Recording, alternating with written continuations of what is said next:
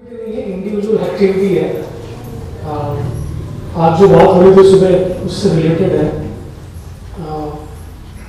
एक जो बात जो जिसको हम बहुत ज़रूरी मानते हैं, वो मानते हैं ये हीन भावना से बाहर निकलना। ये जो कॉलोनाइजेशन का जो एक इम्पैक्ट हमारे मानस पे हुआ कि हम बैकवर्ड फील करते हैं, हम अनसिविलाइज फील करते हैं, हम हीन फील करते हैं अपने बारे में। इससे बाहर निकलना। तो मुझे लगता है उसके संदर्भ में अगर छोटा सा एक्टिविटी हम कर पाए, आप अपना कॉपी और पेंसिल अगर निकाल लें, और अपने आसपास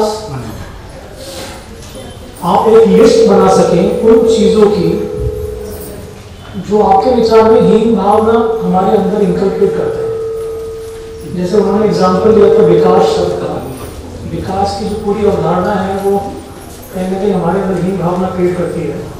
तो ऐसे ही अगर आप एक लिस्ट बना पाए, शब्दों की, या विजुअल्स की जो हम देखते हैं बाहर एडवर्टीजमेंट देखते हैं, या या कुछ हमारे ऐसे एक्शंस जो हमारे अंदर हीन भावना को दिखाते हैं, इसकी अगर लिस्ट बना पाए तो मेरे ख्याल से बहुत अच्छी एक्सरसाइज होगी। इसको ट्रांसलेट करना चाहूँगा। Not English.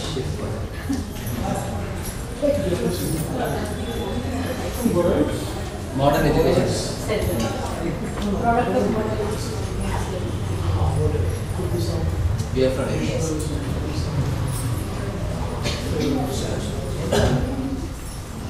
ನಮಸ್ತೆ ಆ, ಅಣ್ಣ ಹೇಳಿದ್ದು ಬೆಳಗ್ಗೆಯಿಂದ ನಾವು ಏನು ಡಿಸ್ಕಷನ್ ಅಲ್ಲಿ ಕೇಳಿಸ್ಕೊಂಡ್ವಿ ಆ ಡಿಸ್ಕಷನ್ ಮುಖಾಂತರ ನಮ್ಮ ಭಾರತೀಯರಿಗೆ ಒಂದು ಮನಸ್ಸಿಗೆ ನಾವೆಲ್ಲ ಯಾವುದೋ ರೀತಿಯಲ್ಲಿ ಹೀನರು ಅಥವಾ ನಮ್ದು ಕಡಿಮೆ. ನಮ್ಗೆ ಯಾವುದೋ ಒಂದು ನಾವು ತುಂಬಾ ಬೆಳೆದಿಲ್ಲ ನಮ್ಮನ್ನು ಬೆಳವಣಿಗೆ ಆಗಿಲ್ಲ ಅನ್ನೋ ಕೆಲವಷ್ಟು ವಿಷಯಗಳಿದೆ. ಆ ವಿಷಯಗಳು ಏನೇನು ಅನ್ನೋದನ್ನ ಪಟ್ಟಿ ಮಾಡ್ತಾ ಹೋಗಿ ಅಂತ ಹೇಳಿದ್ದಾರೆ. ಅಂದ್ರೆ ನಮ್ಮ ಸುತ್ತಮುತ್ತ ಆಗಿರ್ಬೋದು ಅದು ಯಾವುದೇ ವಿಚಾರಕ್ಕಾಗಿರ್ಬೋದು ಅದನ್ನು ಪಟ್ಟಿ ಮಾಡ್ತಾ ಹೋಗ್ಬೋದು. ಅದನ್ನ ಬರಿತಾ ಹೋಗಿ ಅಂದ್ರೆ ವರ್ಡ್ ಕೂಡ ಆಗ್ಬೋದು ಸೆಂಟೆನ್ಸ್ ಕೂಡ ಆಗ್ಬೋದು ಅಥವಾ ಯಾವ್ದೋ ಒಂದು ಎಕ್ಸ್ಪೀರಿಯನ್ಸ್ ನಿಮಗೆ ಸೊಸೈಟಿನಲ್ಲಿ ಅಥವಾ ಒಂದು ಎಕ್ಸ್ಪೀರಿಯನ್ಸ್ ನಾನು ಭಾರತೀಯ ಆಗಿರೋದಕ್ಕೆ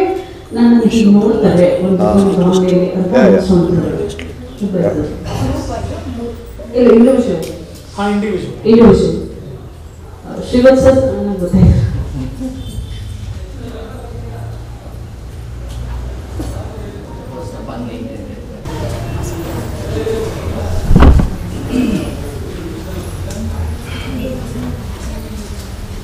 ಪ್ರೆಸೆಂಟ್ ಅಲ್ಲ ಹಿಂಗೆ ಬಂದಿದ್ದು ಹಿಂದೆ ಅನಿಸಿದ್ದು Should it be something that we are experiencing right now or something that we have already? even in the past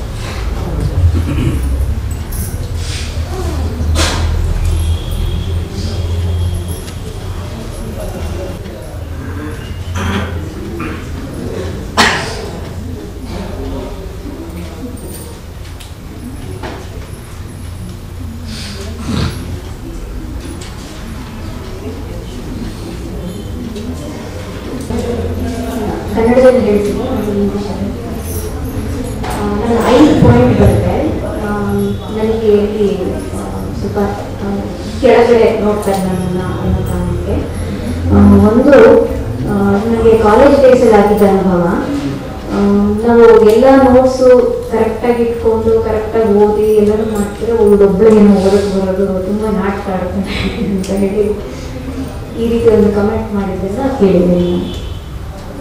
ಇನ್ನೊಂದು ನನಗೆ ಯಾರಾದರೂ ಸಹಾಯ ಮಾಡಬೇಕು ಅಂತಂದರೆ ನಾನು ಸಮಯ ಮತ್ತು ಸಂದರ್ಭ ಜಾಗ ಏನು ನೋಡೋಕ್ಕೆ ಹೋಗಲ್ಲ.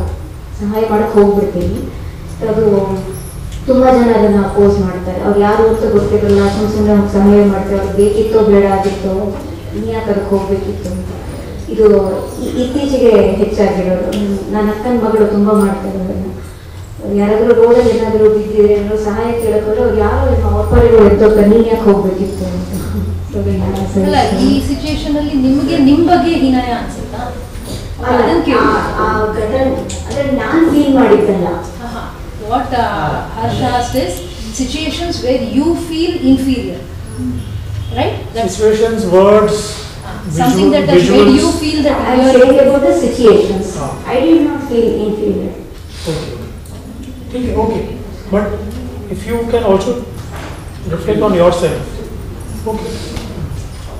ಇನ್ನೊಂದು ವಿಷಯ ಇಂಗ್ಲಿಷ್ ಭಾಷೆ ಬಗ್ಗೆ ಯಾವಾಗಲೂ ಇರ್ತಾ ಇತ್ತು ಅಂದರೆ ಕಾಂಪಿಟೇಷನ್ಸ್ಗೆ ಎಲ್ಲಾದರೂ ಹೋಗುವಾಗ ಇದು ನನಗೆ ಅನಿಸಿತ್ತು ಅಂದರೆ ಇಂಗ್ಲೀಷ್ ಬರದೇ ಇರೋ ಕಾರಣಕ್ಕೆ ನಾನು ಎಲ್ಲೂ ಹೋಗೋದು ಬೇಡ ಏನು ಮಾತಾಡೋದು ಬೇಡ ಸುಮ್ಮನೆ ಬೇಡ ನನ್ನ ಪಾಡಿಗೆ ಅರ್ಥ ಆಯ್ತಲ್ಲ ಸಾಕು ಸುಮ್ಮನೆ ಬಿಡೋಣ ಅಂತ ಅದು ಒಂದು ಅನಿಸಿತ್ತು ಸೊ ಇನ್ನೊಂದು ಡ್ರೆಸ್ ಸೆನ್ಸ್ ಬಗ್ಗೆ ಸೊ ಇದು ಸುಮಾರು ಬೇರೆ ಬೇರೆ ಥರ ಡ್ರೆಸ್ ಇರೋದ್ರಿಂದ ನಾವು ನನಗೆ ಆದಷ್ಟು ಸ್ವಲ್ಪ ಹಳೆಯದು ಹೆಚ್ಚು ಇಷ್ಟ ಆಗುತ್ತೆ.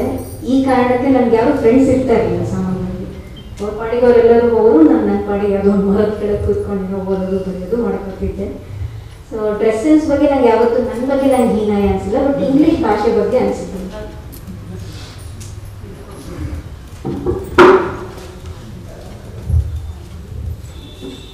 Basically the one that she felt very inferior about uh, herself, that I'll be uh, telling, it was about uh, English language.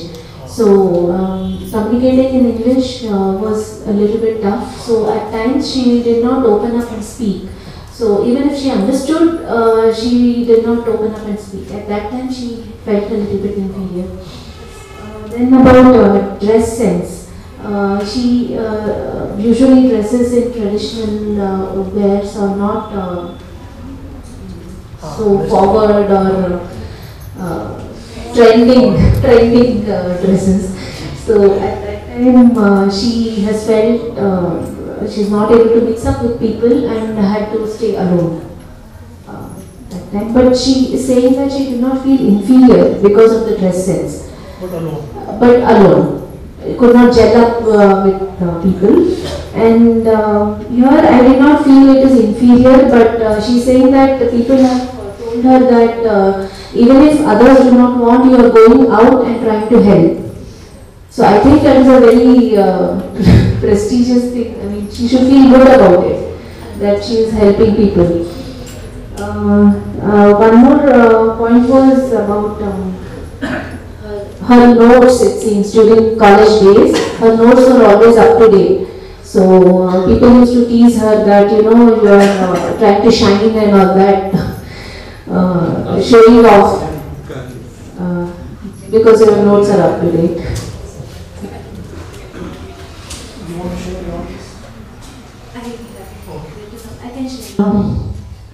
मुझे एक बार ऐसे हुआ था बचपन में अ, मैं इंग्लिश मीडियम में ही जाती थी पर मेरी इंग्लिश इतनी अच्छी नहीं थी तभी।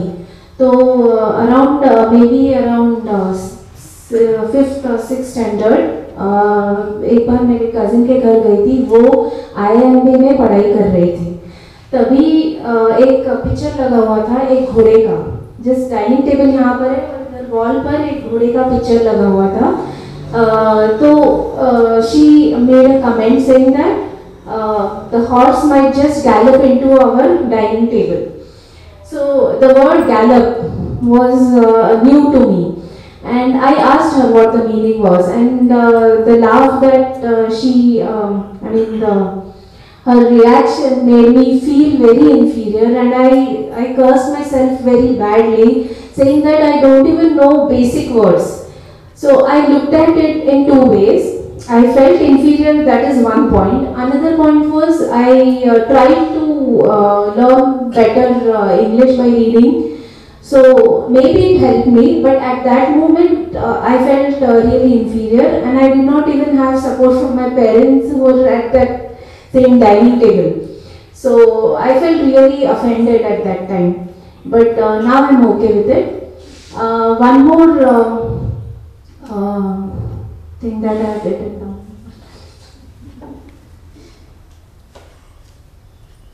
Yes, it was about uh, dress sense again.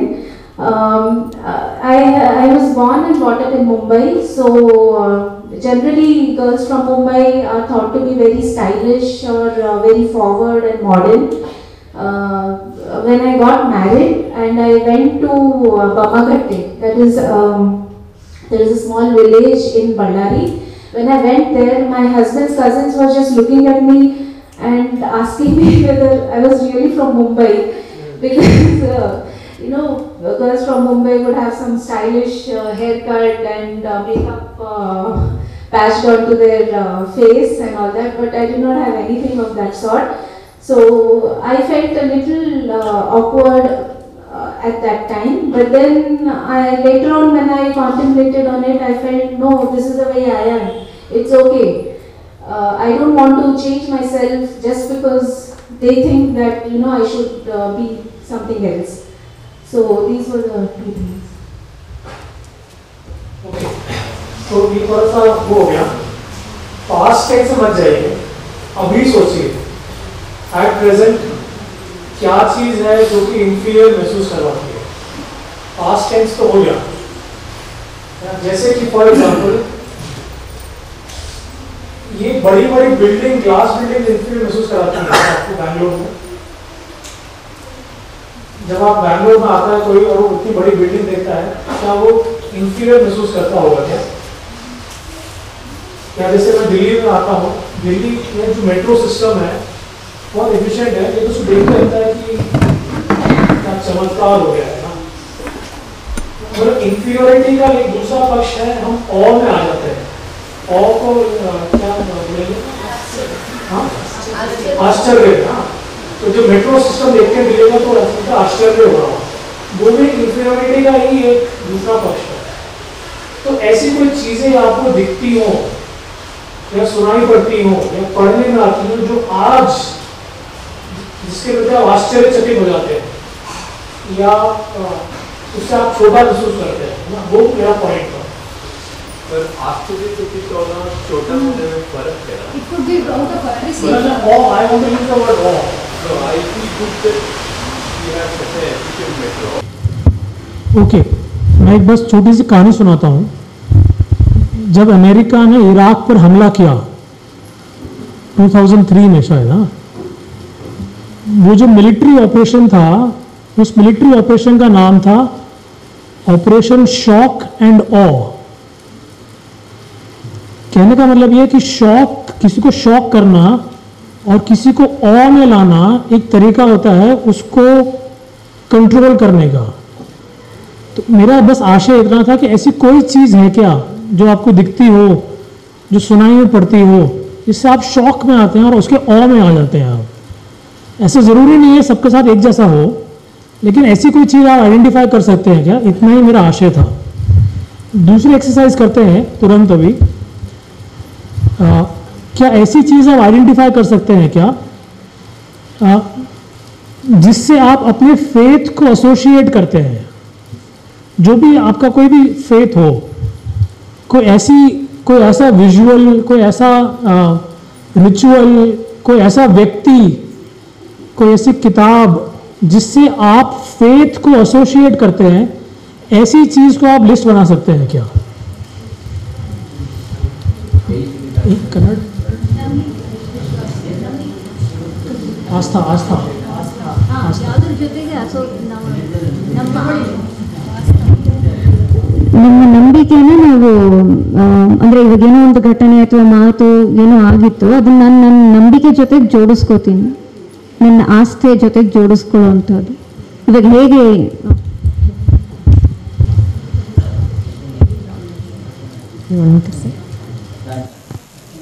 ವಿದ್ಯಾದಾನ ಇಲ್ಲಿ ಪೂರ್ಣ ಪ್ರಮತೆಯಲ್ಲಿ ಏನು ಹೇಳ್ತಾರಲ್ವಾ?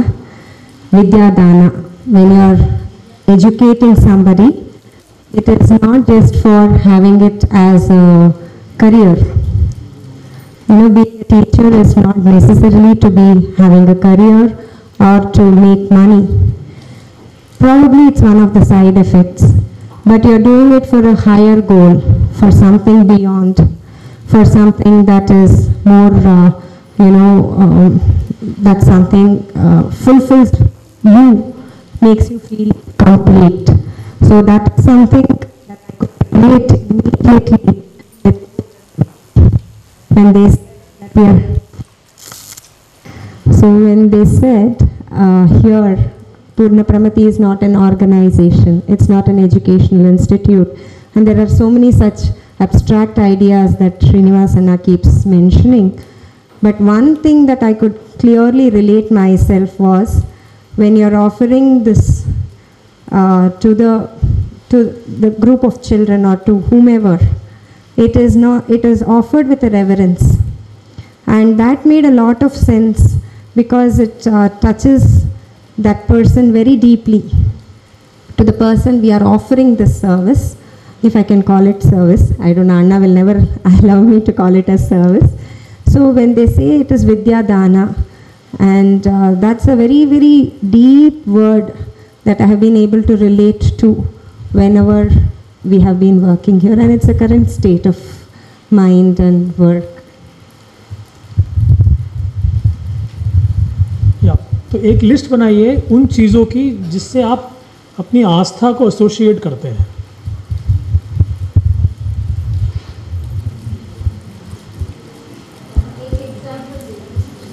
वो जैसे मैं मंदिर गया एक टीका लगा लिया मैंने। ये अभी है या नहीं पता नहीं मिट गया है क्या? हाँ हाँ। तो मैं आस्था को इससे एसोसिएट करता हूँ। या मेरी नानी ने एक थ्रेड बाँध दिया मेरी कलाई पर। ये मेरी आस्था को मैं एसोसिएट करता हूँ।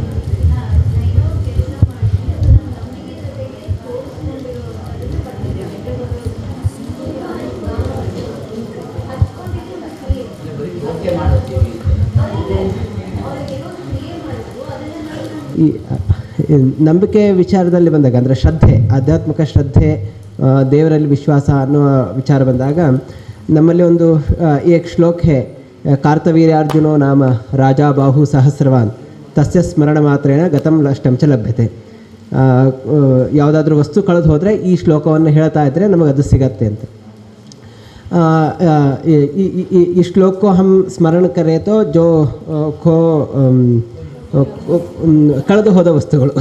ಓ ಮಿಲ್ತಾ ಹೇ ಫಿಲ್ಮ್ ಈ ಶ್ಲೋಕವನ್ನು ಅನೇಕ ಬಾರಿ ನಾವು ಮತ್ತೆ ಮತ್ತೆ ಪಾರಾಯಣ ಮಾಡಿದಾಗ ಅಥವಾ ನನ್ನ ಪಾಠ ಮಾಡಬೇಕಾದ್ರೆ ಮಕ್ಕಳಿಗೂ ಕೂಡ ಇದನ್ನು ಹೇಳಿದಾಗ ಅವರು ಕೂಡ ಬಂದು ನಂದು ಇದು ವಸ್ತು ಕಳೆದು ಹೋಗಿತ್ತು, ಸಿಕ್ಕಿದೆ ಅಂತ ಹೇಳಿದ್ದಾರೆ. ಮತ್ತು ನನ್ನದು ಕೂಡ ಅಷ್ಟೇ ಏನು, ಒಂದು ಕೀ ಎಲ್ಲೋ ಕಳೆದು ಹೋಗ್ಬಿಟ್ಟಿತ್ತು ಗ್ರೌಂಡಲ್ಲಿ ಬಿದ್ದಿತ್ತು. ಅದನ್ನ ಹೋಗಿ ಈ ಶ್ಲೋಕವನ್ನು ಹೇಳ್ತಾ ಹೇಳ್ತಾ ಹೋಗಿದಾಗ ಅದು ಸಿಕ್ತು. ಅಥವಾ ಯಾರ್ಯಾರು ತಂದುಕೊಟ್ರು ಈ ರೀತಿಯಾದದ್ದು ಆ, ಶ್ಲೋಕದಲ್ಲಿ ಆ ಶ್ರದ್ಧೆ ಇರೋದು ಒಂದು ಕಂಡಿದೆ ಅಂತ. ಇನ್ನೊಂದು ಚಿಕ್ಕದು ಹೇಳಬೇಕು ಅಂದರೆ ನಮ್ಮ ಮನೆಯಲ್ಲಿ ನಮ್ಮ ತಾಯಿ ಏನು ಮಾಡ್ತಾರೆ ಅಂತಂದರೆ ಏನಾದರೂ ಕಳೆದು ಹೋಯ್ತು ಅಂತಾರೆ ಅವರು ಸೀರೆ ಸೆರಗು ತೊಗೊಂಡು ಗಂಟು ಕಟ್ಕೊಂಡ್ಬಿಡ್ತಾರೆ. ಅದು ಗಂಟು ಕಟ್ಕೊಂಡ್ರು ಅಂತಂದರೆ ಅದು ಅವತ್ತು ಸಿಗದೆ ಹೋದರೂ ಕೂಡ ಅದು ನಾಳೆ ಅಂತೂ ಸಿಗತ್ತೆ ಅಂತ ಒಂದು ಶ್ರದ್ಧೆಯಿಂದ ಅಮ್ಮ ಮಾಡಿರೋದು ಕೂಡ ನೋಡಿದ್ದೀನಿ. ಅದು ಕೂಡ ಸಕ್ಸಸ್ ಆಗಿರೋದು ಕೂಡ ಕಂಡಿದೆ ನನಗೆ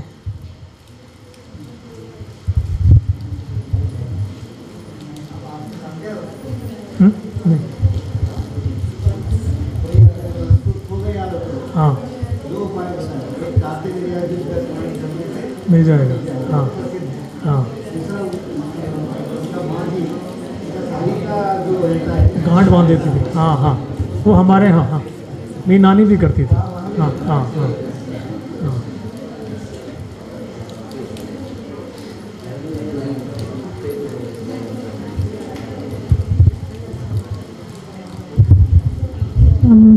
ನನಗೆ ನಂಬಿಕೆ ತುಂಬ ಇರೋದು ಭಗವದ್ಗೀತೆಯಲ್ಲಿ. ಅಂದರೆ ಜೀವನದಲ್ಲಿ ಯಾವುದೇ ತೊಂದರೆ ಬಂದರೂ ಅಥವಾ ಏನೇ ಡೌಟ್ ಬಂದರೂ ಅದು ಉತ್ತರ ಭಗವದ್ಗೀತೆಯಲ್ಲಿದೆ ಅಂತ ನನಗನ್ಸುತ್ತೆ. ಸೊ ತುಂಬ ಚಿಕ್ಕದ್ರಿಂದನೂ ಪ್ರತಿ ಸಲ ಏನಾದರೂ ಡೌಟ್ ಬಂತು ಅಥವಾ ಕ್ಲೇಶ ಆಯಿತು ಮನಸ್ಸಿಗೆ ಅಂದರೆ ಭಗವದ್ಗೀತೆದು ಯಾವುದೇ ಚಾಪ್ಟರ್ ತೆಗೆದು ಓದಿದ್ರು ಅದರಲ್ಲಿ ಉತ್ತರ ಸಿಕ್ತಿತ್ತು ಈಗಲೂ ಕೂಡ ಅದು ಹಾಗೇ ಇದೆ. ಸೊ ಖಂಡಿತ ಅದು ಮೂಢನಂಬಿಕೆ ಅಂತ ಯಾವತ್ತೂ ಅನಿಸಿಲ್ಲ.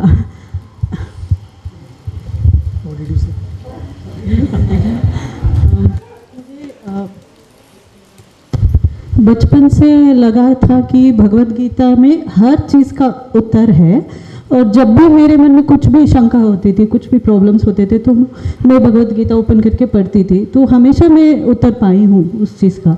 तो आज तक भी वो चल रहा है, और उसमें आस्था है। जैसे मेरी नानी ने मुझे कोई मंत्र सिखाया था जब भी मैं कुछ एग्ज़ाम एग्ज़ाम देता था तो मैं वो मंत्र बोल के आता था। इसका मतलब ये नहीं कि मैं हमेशा पास ही होता था, ऐसा नहीं है। लेकिन वो मंत्र अभी भी वैसा चलता ही है। है ना? मतलब उसको, वो अभी भी मतलब ट्रेन छूटने वाली है या, है ना प्लेन में थोड़ा सा ऊपर नीचे हो गया वो मंत्र चलता ही अभी भी चलता ही है। बट आप अगर कुछ आइडेंटिफाई कर पाएँ ऐसी चीज़ अपने लिए, जो आपके लिए आस्था का प्रतीक है ना, वो सही है, गलत है, वो बात नहीं है। वो वो सभी के लिए एक जैसा है, वो भी बात नहीं है। हर एक के लिए अलग अलग हो सकता है।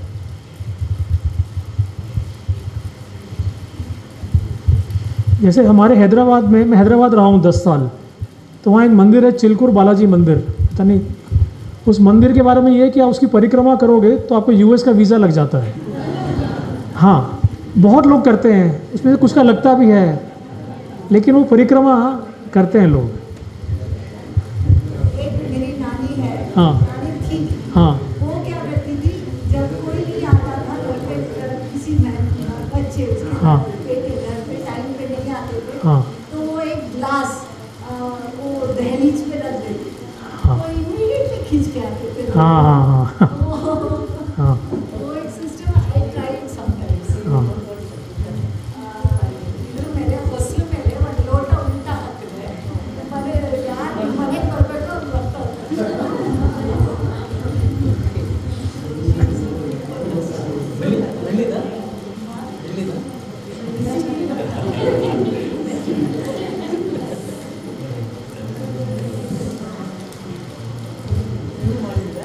या फिर कोई ऐसा व्यक्ति हो, कोई इंडिविजुअल हो आपके जीवन में, जिसके प्रति आस्था है?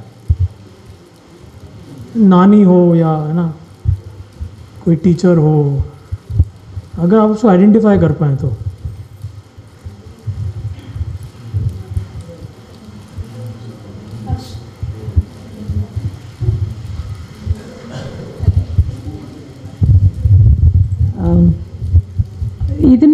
ಹೇಳಕ್ಕೆ ಬರೋದಿಲ್ಲ, ಯಾಕೆಂದರೆ ಇದು ಲೋಕಲ್ ನಮ್ಮದು ಇದು ಅದರಿಂದ ಇದಕ್ಕೆ ಕನ್ನಡ ಪದನೇ ಸರಿ ಇದಕ್ಕೆ. I don't know how to translate it later ಈ ದೃಷ್ಟಿ ಆಗುತ್ತೆ ಅಂತ ಹೇಳ್ತೀವಲ್ವ? ಆಗ ಎಲ್ಲ ತೆಗಿತೀವಲ್ವ? ನನ್ನ ಮಕ್ಕಳು ಬಂದು ಬಂದು, ಅಮ್ಮ, ಇವತ್ತು ಯಾಕೋ ಹೊಟ್ಟೆ ನೋವು, ಇವತ್ತು ಯಾಕೋ ತಲೆನೋವು, ಮೈಕೆ ನೋವು. ದೃಷ್ಟಿ ತೆಗಿ, ದೃಷ್ಟಿ ತೆಗಿದ್ರೆ, ತೆಗೆದ್ರೆ ಒಂದು ಅರ್ಧ ಗಂಟೆಲಿ, okay they will be all right ಇದು ನಮ್ಮ ನಂಬಿಕೆಗಳು. I don't know how to translate it in English it's a very very local thing દૃષ્ટિ ઉતારના યા નજર ઉતાર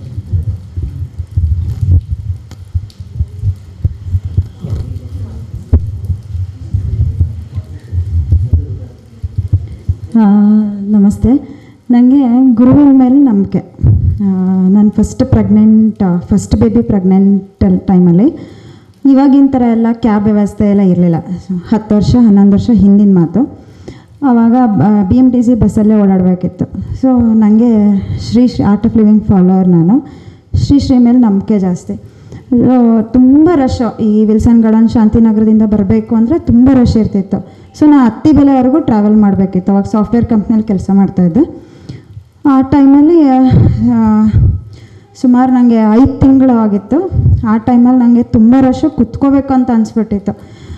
ಆಗ ಡೈರೆಕ್ಟ್ ಒಂದೇ ಒಂದು ಮನಸ್ಸಿಲ್ಲ ಜೈ ಗುರುದೇವ್ ನಂಗೆ ಸೀಟ್ ಸಿಗಬೇಕು ನಂಗೆ ಫುಲ್ ಸುಸ್ತಾಗ್ಬಿಟ್ಟಿದೆ ಅಂದ ತಕ್ಷಣ ಅದು ಯಾ ಅದು ಹೇಗಾಯ್ತೋ ಗೊತ್ತಿಲ್ಲ. ಯಾರೋ ಒಬ್ಬರು ಹೇಳಿದರು ನಾನು ಬನ್ನಿ ಕುತ್ಕೊ ಬನ್ನಿ ಅಂತ ಜಾಗ ಕೊಟ್ಟರು ಸೊ ಆ ನಂಬಿಕೆ ತುಂಬ ಸತಿ ವರ್ಕ್ ಆಗಿದೆ. ಏನೋ ಚಿಕ್ಕ ಪುಟ್ಟ ಸಮಸ್ಯೆಗಳಿರ್ಬೋದು ಅಥವಾ ಮಕ್ಕಳು ತುಂಬ ಗಲಾಟೆ ಮಾಡ್ತಾ ಇದ್ದಾಗ ಆ, ಥರ ನನ್ನ ನಂಬಿಕೆಯಿಂದ ಒಂದು ಮನಸ್ಸಿಂದ ಒಂದು ಗುರುಜಿ ನೆನಪಿಸ್ಕೊಂಡ್ರೆ ನನಗೆ ಅಲ್ಲಿರೋ ಸಮಸ್ಯೆಗಳು ಹೂ ತುಂಬ ಒಂಥರ ಹೂವಿನ ಎಳದಲ್ಲಿ ಆ, ಪರಿಹಾರ ಕಂಡ್ಕೊಳಂಗೆ ರೀತಿಯಲ್ಲಿ ನನಗೆ ಸಿಕ್ಕಿದೆ ಥ್ಯಾಂಕ್ ಯು क्या है ना हमारे वो गुरुजी वो गुरु के बहुत हमने भरोसे करते हैं उसके मैं ना वो प्रेग्नेंट थी पहला फ़र्स्ट प्रेगनेंसी में वो इस टाइम पे वो कैब का व्यवस्था पहले नहीं था।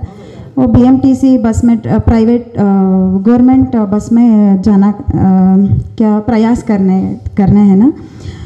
उस टाइम पे हम मैं मुझे ना बहुत आयास हो गया था।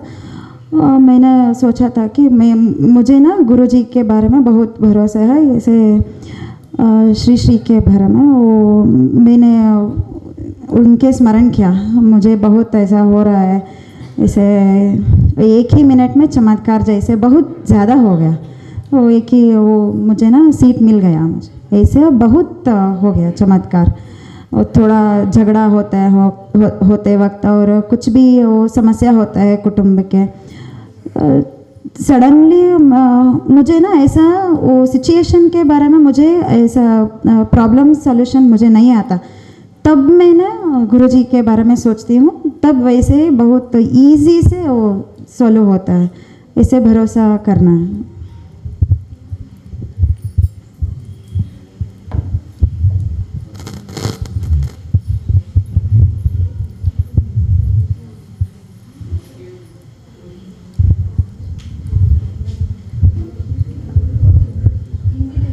ಹಿಂದಿ ಹಿಂದಿ ಬರಲ್ಲ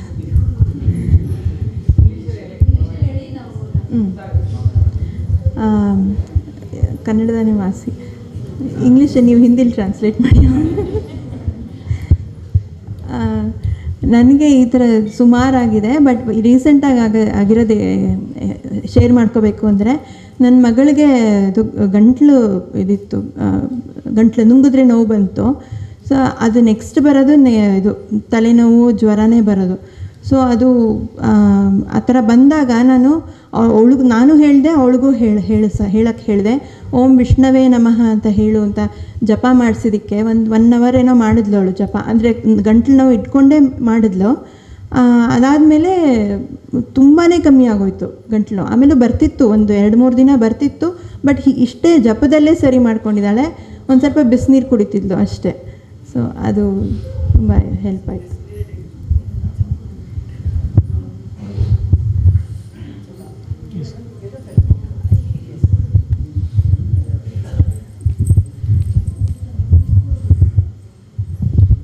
ನನಗೆ ಮೊದಲಿಂದಾನು ಶೃಂಗೇರಿ ಶಾರದಮ್ಮನವ್ರು ಅಂದರೆ ಒಂದು ನಂಬಿಕೆ ಅಂದರೆ ತುಂಬ ಜಾಸ್ತಿ ನಂಬಿಕೆ. ಏನೇ ಬಂದರೂ ಶಾರದಮ್ಮನವರು ಅಂತ ಅಂದ್ಕೊಂಡು ಮಾಡ್ತೀನಿ. ನನ್ನ ಮದುವೆ ಆದಾಗ ಎಲ್ಲ ಮಕ್ಕಳು ಆಗ ಹೇಗೆ ಅಂತ ಇದು ಮಾಡಿದಾಗ ಪ್ರಾಬ್ಲಮ್ ಆಗ್ತಾಯಿತ್ತು ಸೊ ಒಂದ್ಸತಿ ಏನೋ ಅನ್ನಿಸ್ತು. ಶೃಂಗೇರಿಗೆ ಹೋಗಿ ಬರೋಣ. ಮೊದಲನೇ ಸತಿ ಅದು ಆ್ಯಕ್ಚುಲಿ ಅದು ಅಲ್ಲಿ ಹೋಗಿ ನನಗೆ ಹೋದಾಗ ಒಂದು ಐ ಗಾಟ್ ದಟ್ ವೈಬ್ರೇಷನ್ ಇಲ್ಲ, ಈ ಸತಿ ನಂಗೆ ಈ ವರ್ಷ ನಂಗೆ ಒಳ್ಳೆ ಸುದ್ದಿಗಳೇ ಬರುತ್ತೆ ಅಂತ.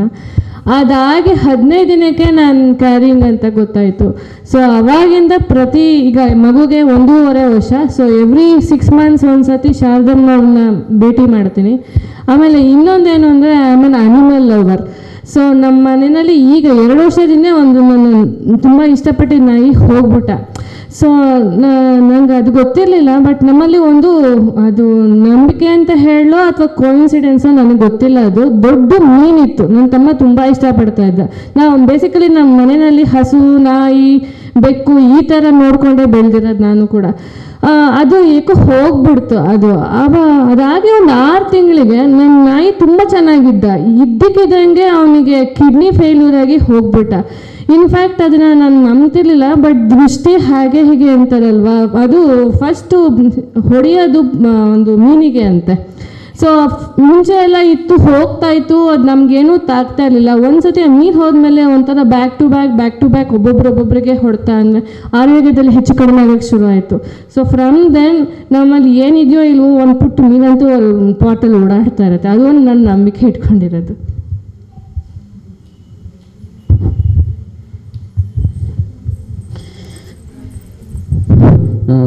ಗುರುಗಳ ಮೇಲೆ ನನಗೆ ಮೊದಲಿಂದನೂ ಅವರಿದ್ದಾಗಲಿಂದನೂ ತುಂಬ ನಂಬಿಕೆ, ಅವರು ಹೇಳಿದ್ದೆಲ್ಲ ಕೆಲಸ ಆಗ್ತಾಯಿತ್ತು ಆದರೆ ಈಗ ಸದ್ಯದ ಪರಿಸ್ಥಿತಿ ಹೇಳೋದು ಅಂತಂದರೆ, ನ ಕೊರೋನಾ ಎರಡನೇ ಅಲೆ ಅಂತ ಬಂದಾಗ ನಮ್ಮ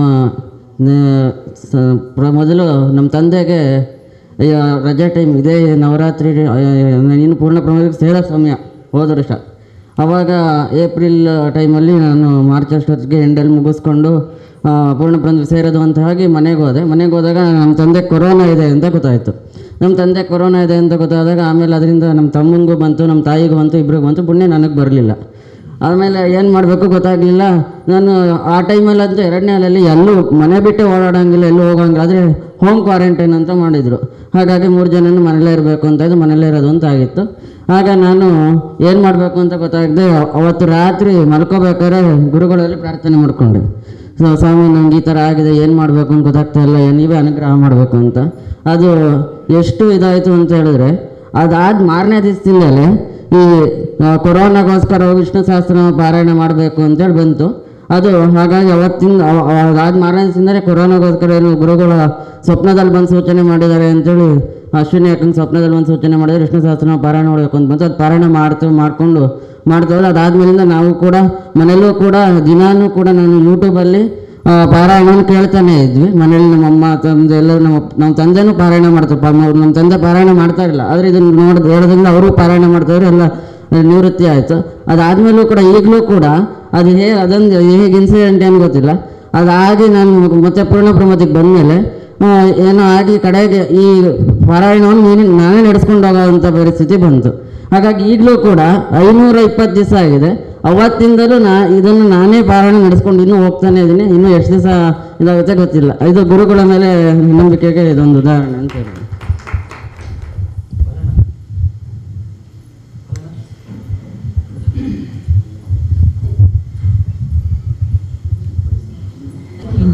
नमस्ते राघवेंद्रद मृति रायरद मृति बे नमें हमें ना मृतिका के बारे में बहुत विश्वास है हम, हम मेरे पति जी को ये हुआ था डेंगू हुआ था।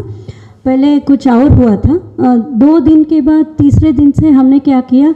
सुबह शाम सुबह शाम मृतिका लेना और सो जाना। उतना ही कर रहे थे। ब्लड टेस्ट में एक ही दिन ब्लड टेस्ट किया था। दूसरे दिन ब्लड टेस्ट जब कर रहे थे तभी ये हो गया नहीं ठीक है प्लेटलेट्स कुछ भी प्रॉब्लम नहीं है बोले। हमारे पास में ही और एक बेड था वहाँ पे और एक आदमी थे उन्होंने कहा मैडम जी आपने क्या चमत्कार किया कि आपके पतिदेव को क्या खिलाया कि आप दो ही दिन में आपके पति स्वस्थ हो गए बोल के हाँ, मैंने कहा हम तो कुछ नहीं कर रहे भगवान सब कुछ कर रहे ರಾಯರ್ ಮೇಲೆ ಭರೋಸಾ ಇಡಿ ರಾಯರ್ ಮೇಲೆ ಭರೋಸಾ ಇಡಿ ಅಂತ ಹೇಳಿದ್ವಿ ಅವ್ರಿಗೆ ನನಗೂ ಸ್ವಲ್ಪ ಸ- मुझे भी मिलेगा क्या उन्होंने पूछा मैं बोली हाँ ठीक है मैं कल भिजवा दूँगी मेरी आ, आ, बु- ಆ, क्या बोलते ಅತ್ತೆ ಜೊತೆಗೆ ಕಳಿಸ್ತೀನಿ ಅಂತ ಹೇಳಿದೆ मेरी सासू माँ के सा- हाथ से भिजवाए वो क्या बोल रहे पाँच द- पाँच छः दिन से ना उनका रोज़ ब्लड टेस्ट हो रहा था हमने कुछ भी नहीं किया सिर्फ उनको ना वो मृतिका का पुड़ी दिए थे वो पैकेट में दिए थे अब न खाए भी नहीं कुछ भी नहीं हुआ जब ब्लड टेस्ट के लिए गए तब म- बोला नहीं आपका ब्लड ब्लड टेस्ट भी नहीं करवाना है और आप ठीक भी हुए हैं बोले तो तब से ना एक आस्था है ಮನೇಲಿ ಮೃತ್ತಿಕೆ ಇದ್ದರೆ ಏನೂ ಪ್ರಾಬ್ಲಮ್ ಇಲ್ಲ ಅಂತ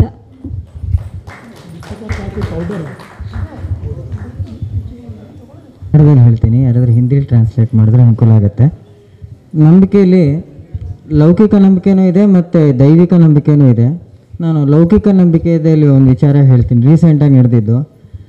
ನಮ್ಮಮ್ಮಂಗೆ ಒಂದು ಅಭ್ಯಾಸ ಇದೆ. ಏನೇ ಒಂದು ತಲೆನೋವಲ್ಲ, ಒಂದು ಸಣ್ಣ ನೆಗಡಿ ಆದರೂ ಮಾತ್ರೆ ತೊಗೊಂಡ್ಬಿಟ್ರೆ ವಾಸಿ ಆಗಿಬಿಡುತ್ತೆ ಅನ್ನೋ ನಂಬಿಕೆ. ನಮ್ಮ ಅಪ್ಪಂಗೆ ಇಂಜೆಕ್ಷನ್ ತೊಗೊಂಡ್ರೆ ವಾಸಿ ಆಗಿಬಿಡುತ್ತೆ. ಸೊ ಈ ಥರ. ಆದರೆ ನಮ್ಮ ತಾಯಿಗೆ ಡಾಕ್ಟ್ರು ವಾರ್ನ್ ಮಾಡಿದರು. ನೀವು ಜಾಸ್ತಿ ಮಾತ್ರೆ ತೊಗೊಳ್ಳೋ ಹಾಗಿಲ್ಲ. ತೊಗೊಂಡ್ರೆ ಮುಂದೆ ಕಿಡ್ನಿಗೆ ಪ್ರಾಬ್ಲಮ್ ಆಗುತ್ತೆ ಅಂತ ಹೇಳಿದರು. ನನಗೆ ಅಮ್ಮಂಗೆ ಸ್ವಲ್ಪ ಜ್ವರ ಬಂದಿತ್ತು. ಮಾತ್ರೆ ತಂದು ಕೊಡು ಅಂದರು. ಇಲ್ಲ, ನಿಮಗೆ ಮಾತ್ರೆ ತೊಗೊಬಾರ್ದು ಅಂತ ಡಾಕ್ಟ್ರ್ ಹೇಳಿದ್ದಾರೆ ತೊಗೊಂಡ್ರೆ ಪ್ರಾಬ್ಲಮ್ ಆಗುತ್ತೆ ಅಂತ ನಾನು ಹೇಳಿದೆ. ಇಲ್ಲ, ನಂಗೆ ಬೇಕಿದ್ರೆ ಜ್ವರ ವಾಸಿ ಆಗಲ್ಲ ಅಂದರು, ಏನು ಮಾಡಬೇಕು ಅಂತ ಗೊತ್ತಾಗಲಿಲ್ಲ ನನಗೆ ಒಂದು ಐಡಿಯಾ ಹೊಳಿತು, ನಮ್ಮ ಅಮ್ಮಂಗೆ ಚಾಕ್ಲೇಟ್ ಎಲ್ಲ ತಿಂದು ಅಭ್ಯಾಸ ಇಲ್ಲ. ಸೊ ನಾನೇನು ಮಾಡಿದೆ, ಒಂದು ಐದು ರೂಪಾಯಿ ಜೆಮ್ಸ್ ಪ್ಯಾಕೆಟ್ ತೊಗೊಂಬಂದು, ಅದರಲ್ಲಿ ಒಂದು ಹಳದಿ ಬಣ್ಣದ ಯಾವುದೋ ಹಸು ಕೆಂಪು ಬಣ್ಣದ ಯಾವುದೋ ಒಂದು ಎರಡು ಮಾತ್ರ ಪೇಪರಲ್ಲಿ ಕಟ್ಕೊಟ್ಟು, ಸದ್ಯಕ್ಕೆ ತೊಗೊಬೇಕಂತೆ ಡಾಕ್ಟ್ರ್ ಹೇಳಿದ್ದಾರೆ. ಊಟ ಆದಮೇಲೆ ಒಂದು ರಾತ್ರಿ ಒಂದು ತೊಗೊಂಡ್ರೆ ವಾಸಿ ಆಗುತ್ತಂತೆ ಅಂತ ಹೇಳ್ಕೊಟ್ಟೆ. ತೊಗೊಂಡ್ರು ಅದೇನು ಮಾತ್ರ ತಂದು ಕೊಟ್ಟು ನೆಕ್ಸ್ಟ್ ಸತಿ ಆದಾಗ ಅದನ್ನೇ ತಂದು ಕೊಡು ವಾಸಿ ಆಯಿತು ಸೊ ಈ ಥರನೇ ಒಂದು ಇದು ರೀಸೆಂಟಾಗಿ ನಡೆದಿದ್ದ ಘಟನೆ ನನಗೆ ಧನ್ಯವಾದ ठीक है हाँ ओके लास्ट ಅದೇ ರೀತಿಯ ಹೆಲ್ತ್ ಇಶ್ಯೂಸ್ ಆದಾಗ ಸ್ವಲ್ಪ ಸೀರಿಯಸ್ ಅನಿಸಿದಾಗ ನಾವು ಸೋದೆಗೆ ಹೋಗಿ ಆ, ಅಲ್ಲಿ ಅಲ್ಲಿ ಅರ್ಲಿ ಮಾರ್ನಿಂಗ್ ಸ್ನಾನ ಮಾಡಿ ಇದು ಒಂದು ನಂಬಿಕೆ ಇರ್ಬೋದು ಅಥವಾ ಇರ್ಬೋದು ಬಟ್ ಅಲ್ಲಿ ಸ್ನಾನ ಮಾಡಿ, ಅಲ್ಲಿ ನೀಟಾಗಿ ಭಕ್ತಿಯಿಂದ ಬೇಡ್ಕೊಂಡಾಗ, ಆ ಥ್ರೂಔಟ್ ದ ಇಯರ್ ನನಗೆ ಫೀಲ್ ಆಗಿದೆ, ಆ ಥರ ಹೆಲ್ತ್ ಇಶ್ಯೂಸ್ ಅಟ್ಲೀಸ್ಟ್ ಅಲ್ಲಿಗೆ ಸ್ಟಾಪ್ ಆಗಿರುತ್ತೆ ಫರ್ದರ್ ಸ್ಪ್ರೆಡ್ ಆಗಿರಲ್ಲ. ಆ್ಯಂಡ್ uh, ನನಗಂತೂ ಕಂ, ಸಂಪೂರ್ಣವಾಗಿ ಗುಣ ಆಗಿರುತ್ತೆ. ನಮ್ಮ ಮನೆಯವ್ರಿಗೆ ಯಾರಿಗೋ ಬೇಡ್ಕೊಂಡಾಗಲೂ ಅಷ್ಟೇ ತುಂಬ ಸ್ಪ್ರೆಡ್ ಆಗೋದಾಗಲಿ, ಆ ಥರದ್ದೆಲ್ಲ ತುಂಬ ಸೊಲ್ಯೂಷನ್ಸ್ ಸಿಗುತ್ತೆ. So this is okay thank you तो मैं पवन जी को दोबारा से माइक देता हूँ। मुझे लगा वो जो अ, कहानी सुना रहे थे पांडुरंग शास्त्री अठावले की वो कहानी पूरी नहीं हुई। तो उसको मैं रिक्वेस्ट करूँगा पूरी करें क्योंकि वो फेथ से जुड़ी हुई कहानी है।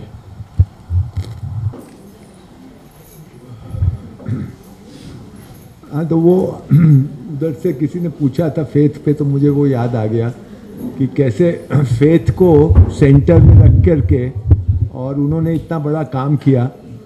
हम ये आपको बताए थे पहले कि वो, उन्होंने एकादशी व्रत दिया और एकादशी व्रत का असाइनमेंट ऑब्जेक्टिव ये था कि आपको एक किसी से हाँ किसी किसी से आपको रिलेशनशिप बनाने है, संबंध बनाना है और वो संबंध को पक्का तब मानेंगे जब वो पूरा ट्रस्ट उसमें एक विश्वास दोनों के बीच में पैदा हो जाए, पूरी तरह से। कोई डाउट कोई शंका, कोई संदेह नहीं रहे। और उसका बेसिस वो काम करने के लिए एंकरिंग कोई एक मुद्दा चाहिए एंकर करने के लिए। तो एंकर में उन्होंने ये तीन बातें बताई। तीन दान। स्मृति दान शक्ति दान और रात को शांति दान। कि ये तीनों चीज़ आपको दान के रूप में ईश्वर देता है और आपको इसलिए ईश्वर के प्रति आप में एक आस्था या भक्ति पैदा हो और फिर उसका उपयोग उन्होंने सामाजिक काम के लिए किया। ये ये उसका दूसरा पक्ष था कि जब एक बार गाँव के लोगों में विश्वास पैदा हो गया, नंबर एक, और दूसरा उनमें आस्था आ गई तब उन्होंने कुछ बहुत सारे कार्यक्रम दिए, जो हम लोग जैसे एनजीओ के लोग या सरकार के लोग बहुत सा काम जाके डेवलपमेंट के नाम पे गाँव में करते हैं, वो उन्होंने वो नाम, उन्होंने वो शब्दावली नहीं दी। ये भी एक, मुझे उस कार्यक्रम की एक बड़ी बात लगी कि उन्होंने आधुनिक दुनिया से शब्दों को नहीं लिया। जैसे विकास उनके वोकेबलरी में नहीं था। जैसे हमारे यहाँ गांधीयंस में एक प्रथा है कि हम लोग हर चीज़ को दान करते हैं। श्रम दान बहुत बड़ा चीज़ है कि हम अपना श्रम का दान करते हैं। गाँव के लिए गाँव में कुछ काम करना हो तो श्रम का दान किया। पांडुरंग शास्त्री अठावले का जो कार्यक्रम था, उसमें दान सिर्फ़ ईश्वर करता है। हम लोग पूजा करते हैं। हम दान नहीं करते। हम शक्ति नहीं है कि हम दान कर सकें। तो हम पूजा करते हैं। कैसे पूजा करना है? तो उन्होंने बहुत सारे कार्यक्रम दिए। जैसे एक कार्यक्रम दिया, मैं भी किसी को बता भी रहा था कि जिन गाँवों में एक साल में एक क्रॉप होती है, पानी की वजह से, पानी कम है, कच्छ के, गुजरात के, कच्छ के इलाके में पानी कम है, समुद्र के किनारे के आसपास के गाँव बारिश बहुत कम है और एक ही क्रॉप साल में होती है। तो वहाँ पे उन्होंने एक कॉन्सेप्ट दिया है कि हम लोग गाँव में निर्मल नीर का एक अ, काम करेंगे। निर्मल नीर पानी का। तो उसमें तालाब बनाने का काम था। तो उन्होंने गाँव वालों को बोला कि आप अपनी ईश्वर आपके लिए इतना कुछ करता है सुबह से शाम तक हर समय करता है आपको इतनी चीज़ों का दान देता है तो आपको भी ईश्वर के लिए कुछ करना चाहिए। तो गाँव वालों ने पूछा, हम क्या कर सकते हैं? तो बोला, आप पूजा करिए। तो पूजा कैसे करें? तो उन्होंने बोला, आप एक तालाब बनाइए यहाँ। और वो तालाब जो है, वो आपकी पूजा होगी ईश्वर के लिए। तो देखिए, एक बेसिक कॉन्सेप्ट में फ़र्क है। दान में अगर हम गाँव के लोग जाकर के एक स्कूल का बिल्डिंग बनाते हैं और अगर चार लोग नहीं आते हैं तो हम लोगों के मन में ये भाव आता है कि भाई वो तो नहीं कर रहे, पर उनके बच्चे भी स्कूल जाएँगे तो हम क्यों करें? एक कंपटीशन उसमें शुरू हो जाता है, दान में, कि मैंने ज़्यादा दिया या मैंने कम दिया, दूसरे ने ज़्यादा दिया, कम दिया, ये एक कंपैरिजन और कंपटीशन शुरू होता है। पांडुरंग जी ने क्या किया कि पूजा कर रहे हैं आप। तो भगवान आपके लिए, ईश्वर आपके लिए इतना कुछ करता है आपको ईश्वर के लिए करना है। तो अगर मैं तालाब के लिए काम कर रहा हूँ और ये नहीं कर रहे तो ये इनका प्रॉब्लम है। क्योंकि हम अपनी पूजा कर रहे हैं। ये नहीं कर रहे तो ये ये इनकी समस्या है। हमारा इनसे कोई कंपटीशन नहीं। तो वो तालाब खुल हमने देखा कि तालाब आ गए गाँव में। तालाब आने से वाटर टेबल भी ऊपर आ गई और नमी भी आ गई। और इसकी वजह से गाँव में जहाँ एक क्रॉप होती थी, दो क्रॉप होने लगी। तो एक बहुत बड़ा परिवर्तन उनके इकोनॉमिक स्टेटस में भी हुआ सिर्फ़ तालाब आने से। इसी तरह से वो उन्होंने हर जगह कुछ ना कुछ प्रोजेक्ट दिए जैसे किसानों के बीच में। उन्होंने कहा, एक ज़मीन ले ली दस एकड़ या पंद्रह एकड़ ज़मीन। अब रोज वहाँ के लोग सब किसान हैं सब अपनी अपनी ज़मीन में जाकर खेती करते हैं। तो उन्होंने ये बोला कि एक दिन तुम महीने में ईश्वर के लिए पूजा करोगे। क्या करोगे पूजा? जो तुम अपने लिए करते हो वही काम ईश्वर के लिए करोगे। तो वो पंद्रह एकड़ की ज़मीन है, मैं रोज़ अपने खेत में काम करता हूँ, एक दिन मैं जा कर के उस खेत में काम करता हूँ, जो कि ईश्वर का खेत है। और मैं अपना वहाँ पे पूजा करता हूँ। यानी मैं जो भी काम करना है वहाँ करता हूँ, वो पूजा है। और जो उसमें से फल मिलेगा, वो पूजा से जो फल मिलेगा, वो हमको ईश्वर की प्रति से, ईश्वर हमको दान दे रहा है। महालक्ष्मी का दान दान। तो ये जो, इससे जो क्रॉप आती थी, वो, उससे जो पैसे आते थे, वो पैसे को साल में एक बार ले जाकर के गाँव के लोग, वहाँ पे बॉम्बे में एक उत्सव होता था, वहाँ पे इतने कमरे के जितने बड़े बड़े कलश होते थे, उसमें सीढ़ी से लोग जाते थे और पैसे को उसके अंदर कलश में डाल देते थे। किसी का ये नहीं देखा जाता था कि इस गाँव के लोगों ने कितना पैसा दिया, उस गाँव के लोगों ने कितना दिया। टोटल जो आता था, उसको वो लोग काउंट करते थे। और अभी कभी गाँव में कोई दिक्कत आ गई, कोई तूफ़ान आ गया या भूकंप आ गया तो इधर से उसको वो गाँव वाले जितना मांगेंगे, उनको महालक्ष्मी दे देगी। और उसका हिसाब आपका महालक्ष्मी से हिसाब है। माने बीच में अठावले जी नहीं आ रहे, कोई अकाउंटिंग नहीं हो रही। आपने जो लिया, अब आपका प्रॉब्लम है, आप उसको महालक्ष्मी को वापस करो या नहीं करो। तो उसमें कभी कोई बेईमानी नहीं हुई। बल्कि जितना लोग लेते थे उससे ज़्यादा ही डालते थे। और कोई कंपटीशन भी नहीं हुआ। ऐसे ही किसानों के बीच में हुआ। ऐसे ही जब मछुआरों के बीच में कि आप रोज मछली मारने जाते हो, एक दिन एक नाव, बड़ी सी नाव ले ली, उसका नाम भी बहुत अच्छा रखा मत्स्य गंधा तो मत्स्य गंधा पे एक दिन ये जा रहे हैं, एक दिन मैं जा रहा हूँ, एक दिन ये जा रहे हैं बारी बारी से सब लोग जा रहे हैं। और उधर से जो मछली आती है वो महालक्ष्मी है। तो उसका जो धन है, वो फिर उस कलश में जाता है, साल के एक बार।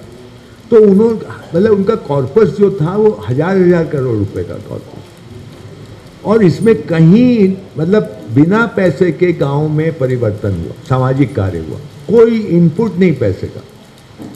और दूसरा क्या हुआ कि, जिस गाँव में वायलेंस बहुत थी या शराब बहुत होती थी तो वहाँ पे ये कॉन्सेप्ट यही है ना कि आपके अंदर ईश्वर है। ईश्वर बाहर नहीं है, आपके अंदर है। वही आपके शक्ति दान दे रहा है, स्मृति दान दे रहा है और शांति दान दे रहा है और हर समय आपके लिए कर रहा है। शक्ति दान एक बार दे के चुप नहीं हो जाता। कॉन्स्टेंटली हर समय काम हो रहा है। तो हर समय आपके लिए वो कर रहा है तो आप भी तो कुछ करो। तो आप जो कर रहे हो, ये एक तो हमारे अंदर ईश्वर है। तो मेरी पत्नी के भी अंदर ईश्वर है। तो हम उसको कैसे मारें? जो वायलेंस होती है डोमेस्टिक वायलेंस वो अपने आप रुक गया।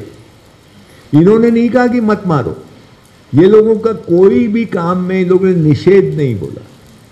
शराब जहाँ होती थी वहाँ ये नहीं बोला कि शराब मत पियो। किसको पिला रहे हो शराब? वो ईश्वर को शराब पिला रहे हो। बस इतना इत, यहाँ बोल के छोड़ देना। अपने आप परिवर्तन हुआ, लेकिन हाँ छप ऐसे नहीं हुआ, उसमें सालों साल लगे। और फिर जाति के मामले में जो ठीक किया उन्होंने कि गाँव में जैसे सभी जाति के लोग रहते हैं तो उन्होंने एक मोबाइल, उसका नाम भी कुछ था, घर मंदिर हाँ उसका नाम था घर मंदिर। तो एक मंदिर है, उसमें सब उनके जो मेन ईश्वर थे वो श्री कृष्ण थे, योगेश्वर। तो वो उनकी तस्वीर है और वो मोबाइल टेंपल जैसा है। वो हम लोग गाँव वाले वो करते हैं वॉल्टियर करते हैं कि ठीक है मेरे घर में मंदिर रहेगा दो महीने के लिए। तो मेरे घर में मंदिर आ, मंदिर आ गया। अब मेरा घर घर नहीं है अब वो मंदिर है। तो सब लोग जा रहे हैं वहाँ पे। इसको कोई नहीं पूछता कि ये किस ये किस जाति का है। वो तो मंदिर है। एक मकान ही नहीं है उसका। तो ये जाति वाला जो जो प्रॉब्लम था, वो अपने आप रिजॉल्व हुआ। और ये जब दो महीने आप किसी के घर में जाते हैं, और आपको पता है कि वो तो शूद्र जाति का है, पर मंदिर है ना तो आपके अंदर से वो दो महीने में वो भाव जो है, छुआछूत वाला या जो जो, वो खत्म खत्म हो जाता है वो।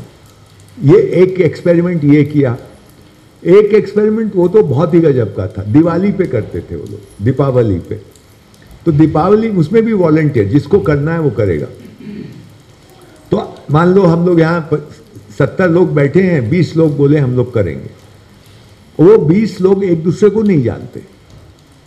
वो गाँव में नहीं हो रहा, वो बड़े इलाके में हो रहा है। मान लीजिए बैंगलोर में हो रहा है। तो बैंगलोर में जितने भी मोहल्ले में जो जो लोग हैं, वो लोगों ने वॉल्टियर किया। हम ये ये ये जहाँ मैंने ये देखा काम वो अहमदाबाद में देखा।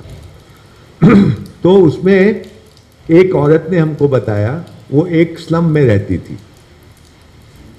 एक मतलब उस औरत से आप मिलें तो आपका तबीयत खुश हो जाए कि अगर भारत की औरतें ऐसी हो गई तो हमारा बेड़ा पार्क हो जाएगा।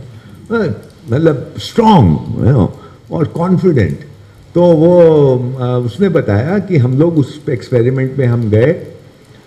उस एक्सपेरिमेंट में लॉटरी होता है। जैसे आपका, आपने वॉल्टियर किया, आपका नाम, इनका वॉल्टियर ये सबका नाम उसमें आ गया और लॉटरी होती है। तो जैसे दो लोगों का नाम उठाया जाएगा एक साथ में। तो हर्ष का नाम आया और किसी उधर से किसी, कोई और मोहल्ले में किसी का नाम। इसका मतलब कि एक पर्टिकुलर दिन हर्ष उनके घर में जाएगा वो वो हर्ष को नहीं जानते, हर्ष उनको नहीं जानता। उसको लास्ट मिनट पे बताया जाएगा कि तुमको वहाँ जाना है। तो हर्ष उधर जाएगा, उनको हर्ष का नाम से कोई मतलब नहीं। उनके घर में श्री कृष्ण आ गए। ऐसा उनको बर्ताव करना है उसके साथ, व्यवहार करना है कि हमारे घर में ईश्वर आए हैं। तो हम ईश्वर के साथ जैसा बर्ताव करेंगे, वैसे ही हर्ष के साथ करेंगे। हर्ष कैसा है, स्लम में रहता है कि महल में रहता है, इससे कोई मतलब नहीं। तो वो औरत ने हमको बताया, वो स्लम में रहती थी, उसके घर में गुजरात हाई कोर्ट के जज का, जज आए। हाँ वो जज, हाई कोर्ट का जज, स्लम में। वहाँ घर में उसके टॉयलेट भी नहीं, पब्लिक टॉयलेट। पर इन लोगों ने उसका वैसे ही किया, जैसे घर आए तो उनका पाँव धोया, उनको जो उनके लिए बेस्ट था वो सब किया, लेकिन स्लम में रहना पड़ा उनको 24 घंटे। और इस औरत का जो नंबर आया, ये कोई उद्योगपति के यहाँ आया, ये स्लम वाली औरत का। तो बोले, हम लोग, हम, मेरा हस्बैंड मैं और हमारे बच्चे गए तो हम उनका मकान देखे बाहर से तो हम बोले कि, हम अपने हस्बैंड को बोले कि अपने चलते हैं, उधर जाके इंसल्ट होगा हम लोग का। वो तो इंसल्ट कर देंगे हमारा। तो अपमान करेंगे। तो ये लोग जाने वाले थे कि उनको पता था कि कोई आने वाला है। तो वो अंदर से देख लिए। तो वो बोले, कहा? आप लोग कौन? पता चला वो है। तो उनको अंदर ले गए। इनका पाँव वाँव धोया गया। फिर इनको जो मकान का बेस्ट कमरा था, जिसमें कि वो उद्योगपति रहते थे, जो सबसे बढ़िया कमरा था, उसमें इनको बैठ, इनको दिया गया। सब कुछ इनके लिए। खाना, वो लोग खुद, वो जो उद्योगपति थे, वो खाना सर्व कर रहे थे, उनकी पत्नी ने खाना बनाया, वो सब हुआ। तो ये इससे इतना चमत्कारिक मनोवैज्ञानिक असर हुआ लोगों के ऊपर। क्योंकि मैं ये मानता हूँ कि हम लोग बोलते हैं कि हम लोग रैशनल लोग हैं, है ना? लेकिन मैं ये मानता हूँ कि हम लोगों का बिहेवियर जो होता है, वो टोटली इरेशनल साइकोलॉजिकली ड्रिवन हम बोलते हैं कि हम लोग रैशनल डिसीज़न लेते हैं। हम लोग नहीं लेते। हाँ माइक को कैसे चलाना है, इसमें रैशनैलिटी आएगा। या ये फोटोग्राफी कैसे करनी है, इसमें रैशनैलिटी आएगा 90 परसेंट उसमें भी 10 परसेंट साइकोलॉजी है। लेकिन human behaviour is completely psychological driven teachers student relationship psychologically driven एक बच्चा पसंद आ गया, खूब ध्यान उस पर दिया जाता है। दूसरा बच्चा पसंद नहीं आया तो अब बहुत मुश्किल हो जाती है। सबके साथ होता है। फिर कैसे उससे डील करें, वो सब एक अलग कहानी है। लेकिन हम लोग घर में, दोस्तों के साथ, जिस सर्कल में हम बैठते हैं, किसी को मदद करते हैं, किसी को नहीं करते, कभी झूठ बोलते हैं, कभी सच बोलते हैं, ये जो कुछ हो रहा है, ये साइकोलॉजिकली ड्रिवन है। और साइकोलॉजी का भी दो एस्पेक्ट है personal psychology collective psychology collective psychology की सुबह से हम बात कर रहे हैं। वो हीन भावना, वो जो हमारे में डर आ गया, हम लोग डरे हुए लोग हैं, चालाकी करने लगे, वो सब कलेक्टिव साइकोलॉजी का मामला। Personal psychology we all know जिसकी बात हमारे शास्त्रों में बहुत है, ये सब जितने वे, विकार हैं, क्लेश हैं, इसको सबको हम सब मुक्त होना है। वो जो विकार और क्लेश है, जो डिफाइलमेंट्स हैं, उसी से हमको बाहर निकलना है। दैट इज़ लाइफ नो इसी के लिए हम प्रयास करते हैं। तो मूल मुद्दा यह है कि जो मनोविज्ञान है, इसी से हम ग्रसित हैं। जो पांडुरंग शास्त्री जी ने किया स्वाध्याय के थ्रू, वो इसी चीज़ को एड्रेस किया उन्होंने अलग अलग तरह से। बहुत तरह के प्रयोग किए। बेसिकली हमने देखा कि लोगों में एक तरह का कॉन्फिडेंस आया। वो लोगों कंपैरिजन उन्होंने करना बंद कर दिया। They were happy with them confident in them एक विश्वास आया कि यस हम कर लेंगे। कोई दिक्कत नहीं है, हो जाएगा। ईश्वर करेगा ना, हम कौन करने वाले हैं? वो करेगा। हम हम करते हैं ना प्रयास, देखा जाएगा फिर। इस तरह का। And they would talk about it if you were sitting with them हम लोग बैठते थे। सब लोग स्केप्टिक्स हम तो सब पढ़े लिखे लोग ना। तो सबसे पहले हमारे अंदर पढ़े लिखे का एक ट्रेट होता है, अच्छी चीज़ में डाउट करो। जैसे ही कुछ अच्छा दिखा डाउट करो। कुछ तो गड़बड़ होगा, वो ही पता करना है। तो हम तो सब डाउट से भरे हुए लोग थे। हम लोग उनको पूछते थे हाँ बताइए, ऐसा क्यों, वैसा क्यों, ऐसा कैसे? वगैरह वगैरह। अब जिस तरह से जवाब वो लोग देते थे these ordinary simple villagers the confidence with अभी नॉर्मल विलेजर में कॉन्फिडेंस नहीं रहा। हम लोग को पैंट शर्ट वालों को जब वो देखता है तो थोड़ा सा, जैसे हम लोग अंग्रेज़ को देख के थोड़ा सा हाँ थोड़ा अलग तरह से हो जाए, वैसे वो उसके साथ भी होता है। It's just a different level that's all but not these people very confident very confident मतलब ये सारी चीज़ हमने खुद देखी, एक बार नहीं, दो बार। मैं सात सात दिन वहाँ रहा मैं तो मतलब I was completely bowled over I have not seen anything like this and it all based on faith उसका फलक्रम ही फेथ था, और कुछ नहीं था। तो फेथ वो बोलते हैं ना कि फेथ कैन शेक माउंटेन्स वो बात हमने वहाँ देखा। And I attributed to the ordinary Indian जो साधारण भारतीय है, उसमें आज भी ये है। उसको सिखाना नहीं पड़ता, उसमें है पहले से। वो तो इसीलिए इतना अत्याचार इस देश में हुआ है, इतना अत्याचार हुआ है। आज भी गड़बड़ हो रही है, लेकिन वो टिका हुआ है। आप देखिए, कोविड के टाइम में, फ़र्स्ट वेव में, लॉकडाउन हुआ। लोग बंबई से, बैंगलोर से, दिल्ली से, हर जगह से गाँव जा रहे हैं। हम बिहार में थे उस टाइम, लॉकडाउन के टाइम में। हमने देखा कितने लोग आए, जो माइग्रेंट लेबर्स थे। पैदल। कितने लोगों को मैंने देखा? एक भी के चेहरे पे हमने दुख नहीं देखा। एक के भी चेहरे पे रोना पीटना नहीं देखा। तो ओके। यू नो हम टीवी वाले चिल्ला रहे थे। ऐसा हो गया, वैसा हो गया, ये हो गया। हम तो वहाँ बैठे थे। बिल्कुल सहज रूप से। कोई शिकायत नहीं। और मैं सोचने लगा, ऐसा कैसे हो गया? तो क्या चमत्कार हज़ार हज़ार किलोमीटर पैदल आ रहे हैं, बच्चों के साथ, पत्नी के साथ, सामान लेके।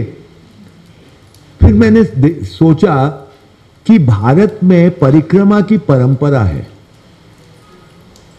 दक्षिण में भी है, उत्तर में भी है, नर्मदा नदी की परिक्रमा होती है। The longest river in India three thousand five hundred kilometre long 3500 kilometre लंबी नदी है, Narmada. From Amarkantak to Arabian sea 3500 तीन पैंतीस सौ इधर, पैंतीस सौ उधर. सात हज़ार किलोमीटर का परिक्रमा करते हैं लोग. और अभी आप और मैं उधर जाते हैं तो अभी पचास हज़ार लोग उसकी परिक्रमा अभी कर रहे हैं. अभी. ये डेटा है. और रोज उसमें से कुछ लोग निकलते हैं. आज सौ लोग निकल जाएँगे. और नए सौ लोग आ जाएँगे। और ये लोग को टाइम है। तीन साल तीन महीने तैतीस दिन। इतने में ये परिक्रमा पूरी होती है। तीन साल तै, तीन महीना तैतीस दिन। या तेरह दिन हमको तेरह दिन है शायद। और ये लोग अभी मोबाइल आ गया ना। लेकिन जब मोबाइल नहीं था तो ये लोग वो परिक्रमा जब कर रहे हैं तो घर बार से कोई संपर्क नहीं। फ़ोन नहीं, कुछ नहीं। दे, वो अपने साथ कुछ लेके नहीं चलते। हैं क्या कर, किस लिए जाते? हैं नर्मदा मैया हमको देखेगी। तीन साल, तीन महीने, तेरह दिन नर्मदा मैया को दे दिया, वो रखेगी तो रखेगी, मरेंगे तो मरेंगे, जो होगा होगा। नो फ़ोन नो मनी वहाँ पे लोग आके उनको, वो, और वो अपना खाना बनाते हैं। They will not take cooked food from you पका हुआ खाना आपसे नहीं लेंगे। आप आटा दे सकते हो, चावल दे सकते हो, आप दाल दे सकते हो अपना बनाएँगे। ये परंपरा है। वो देने वाला कौन होगा उनको मालूम नहीं है। और ये हर रोज पचास हज़ार लोग उसकी परिक्रमा कर रहे हैं। साल भर। कितने लोग करते होंगे आप सोचिए। ये एक दो लोग नहीं करते। वैसे ही गंगा की परिक्रमा होती है यमुना की परिक्रमा होती है। उधर भी का, कृष्णा कावेरी की परिक्रमा होती होगी अब बहुत कम लोग करते होंगे लेकिन करते हैं लोग। पर्वतों की परिक्रमा होती है गोवर्धन की ये आपका जो तिरुवनमलाई है उसकी हाँ ये सब, हमारे यहाँ तो इसकी ट्रेडिशन है। और जब आप तीर्थ पे जाते हैं तो आप चिंता नहीं करते कि क्या होगा। अभी टूरिस्ट लोग वो तीर्थ यात्री नहीं है। मैं मसूरी में रहता हूँ, मैं आपको बताऊँ, आज से दस साल पुरानी, ये पंद्रह साल पुरानी बात है। हमारा ऑफ़िस है, उसके, वो ऑफ़िस है, बाहर में छोटा सा स्पेस है, जहाँ बारिश से बचने के लिए खड़ा कर हम लोग ऑफ़िस में बैठे थे इतने बारिश हो रही थी, अगस्त का या जुलाई का महीना था, खूब ज़ोर से बारिश हो रही थी और बाहर कुछ दो तीन लोग बात कर ऐसा सुनाई दिया। तो मैंने दरवाज़ा खोला तो वहाँ दो लोग खड़े थे, धोती और वेष्टी में। तो मैंने बोला कि कैसे? तो बोला, नहीं, हम लोग बारिश से बचने के लिए थोड़ा देर खड़े हो गए। तो बोले, अंदर आ जाइए। तो अंदर आ गए। तो उनको चाय वाय पिलाया। पाँव में चप्पल नहीं, धोती और वेष्टी। बात हुआ तो बोला, हम लोग परिक्रमा पे निकले। कौन लोग थे? हरियाणा के स्कूल के टीचर थे। सरकारी स्कूल के टीचर। अच्छी खासी नौकरी मिलती है उनको। उनका बच, बात का पता चला उनके बच्चे जो थे, वो दुबई में या मस्कट में या कहीं पे वो लोग काम करते हैं। ठीक, पैसा वैसा बढ़िया, अपना मकान वकान, सब बात बात हुआ तो पता चला। कहाँ जा रहे हैं? तीर्थ यात्रा पे जा रहे हैं। तो चप्पल नहीं पहना तो तीर्थ यात्रा में चप्पल नहीं पहनते। और तीर्थ यात्रा में हम बस में भी नहीं चढ़ेंगे, टैक्सी में भी नहीं चढ़ेंगे। पैदल जाएँगे चार धाम यात्रा करेंगे। ये आज अभी हो रहा है। ये टूरिज़्म नहीं है कि आप फट से चले गए और फट से आ गए और सलाम किया बद्रीनाथ जी को और आ गए, ऐसा नहीं है। वो पैदल जा रहे हैं और लाखों के संख्या में जा रहे हैं। अभी भी जा रहे हैं। अभी भी जा रहे हैं इस जमाने में भी। और ये जो साधु जो जाता है ये तो साधु नहीं थे लोग जो ऑर्डनरी साधु जाता है आप कभी उसको देखो। हो सकता है वो गांजा पीता हो। पॉसिबल लेकिन उसका पूरे बद, नीचे से लेके सारा पोजेशन उसकी बॉडी पे है। उसके अलावा उसके कोई पोजेशन नहीं है। कितने का होगा? अगर आप मॉनेटरी टर्म में आप देखोगे 2000, 3000, 5000 ज़्यादा से ज़्यादा घड़ी होगा। हो सकता है 500, 600 रुपए की घड़ी हो। हो सकता है आजकल मोबाइल हो। But still four five thousand is all he has पूरा गिन लो आप। वो पैदल जाता है और गाँव में रुकता है। वो कोई पोल्यूशन नहीं करता। पानी भी कम से कम इस्तेमाल करता। उसको वेस्ट नहीं करता। एक पानी की बोतल लिया, फेंक दिया नो वेस्टेज राइट जो गाँव में जाता है, वहाँ बैठ के धुनी जमाता है। गाँव के लोग आके बैठते हैं, उनसे वो चार ठो बात करता है। हम लोग नहीं करते। राइट कुछ कुछ कहानी सुनाएगा, कुछ रामचंद्र जी की बात करेगा, कुछ कृष्ण भगवान की बात करेगा, कुछ तो बात करेगा। और गाँव वालों को आनंद आएगा। उनका कुछ हल्का होगा, थेरेपी होगा उनका, है ना? So in every which way he is giving he is not taking anything वो कुछ देता ही है, कुछ गंदा नहीं करता, प्रदूषण एक तो होता है, बोतल का प्रदूषण, वो प्लास्टिक का बोतल, दूसरा प्रदूषण होता है, हम गाना बजाते हैं, बेकार की बात करते हैं, वो गाँव वाला सुनता है ना उसको। तो उस पर उसका इन्फ्लुएंस जाता है, उसका प्रभाव जाता है। तो ये भारतवर्ष में ये जितना भी कुछ चल रहा है, इसको जिसको हम देखते नहीं, हम ऑर्डनरी साधु को नहीं देखते, हम महंत को देखते हैं, या कोई शंक, उनके लिए मेरा पूरा आदर है, वो नहीं है। पर ये जो ऑर्डनरी साधु है, ये, और ये जो ऑर्डनरी तीर्थयात्री है, ये जो साधारण है इसमें बहुत कुछ ऊँचा है, मैं ये कह रहा हूँ। And he is not even aware of it उसको पता भी नहीं है। उसको उसका अहंकार भी नहीं है। कोई मठ में बैठे हुए बड़े को थोड़ा अहंकार भी हो सकता है कि मैं तो देखो, अभी एक एक आपके कर्नाटक के मठाधीश ने राहुल गांधी को जनेऊ पहनाया, कुछ किया ऐसा? सही आदमी होंगे, मैं नहीं जानता। सॉरी अगर किसी के वो गुरु होंगे तो मैं नहीं जानता।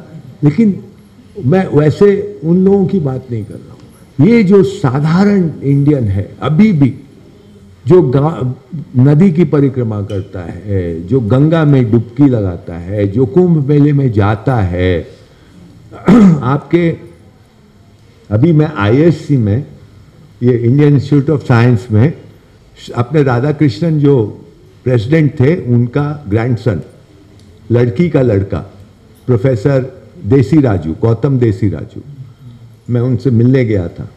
उन्होंने एक किताब लिखा है it's worth reading India Bharat 2.0 chemistry के आदमी है। मैं उनसे अभी गया मिलने बहुत मज़ा आया मिलके।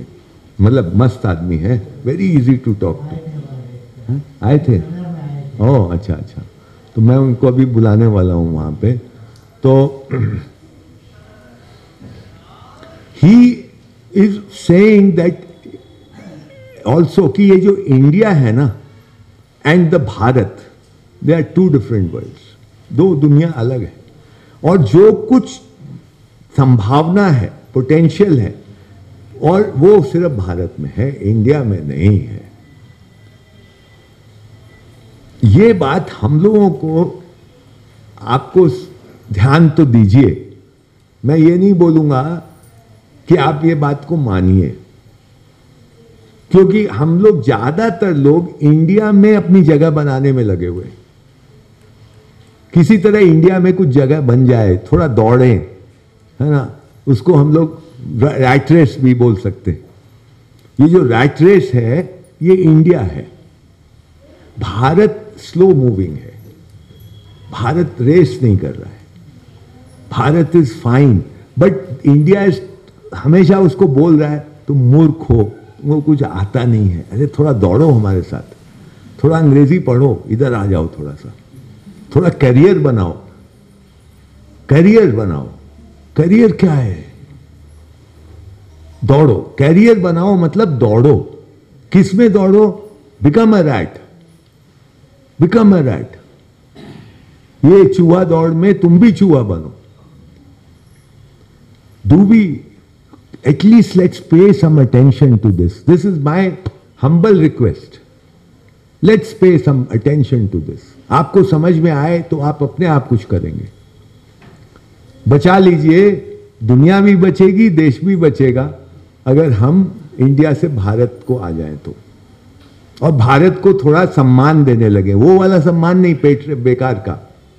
दिखावे वाला सम्मान नहीं। सचमुच में सम्मान।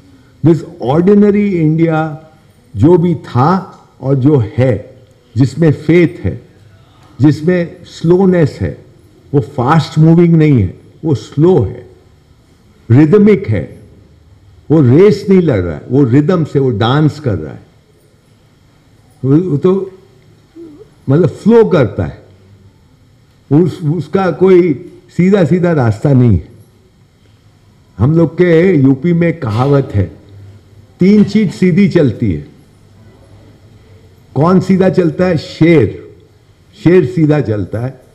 नहीं सियार नॉट शेर। सी, सियार फॉक्स फॉक्स सीधा चलता है। तीर सीधा चलता है।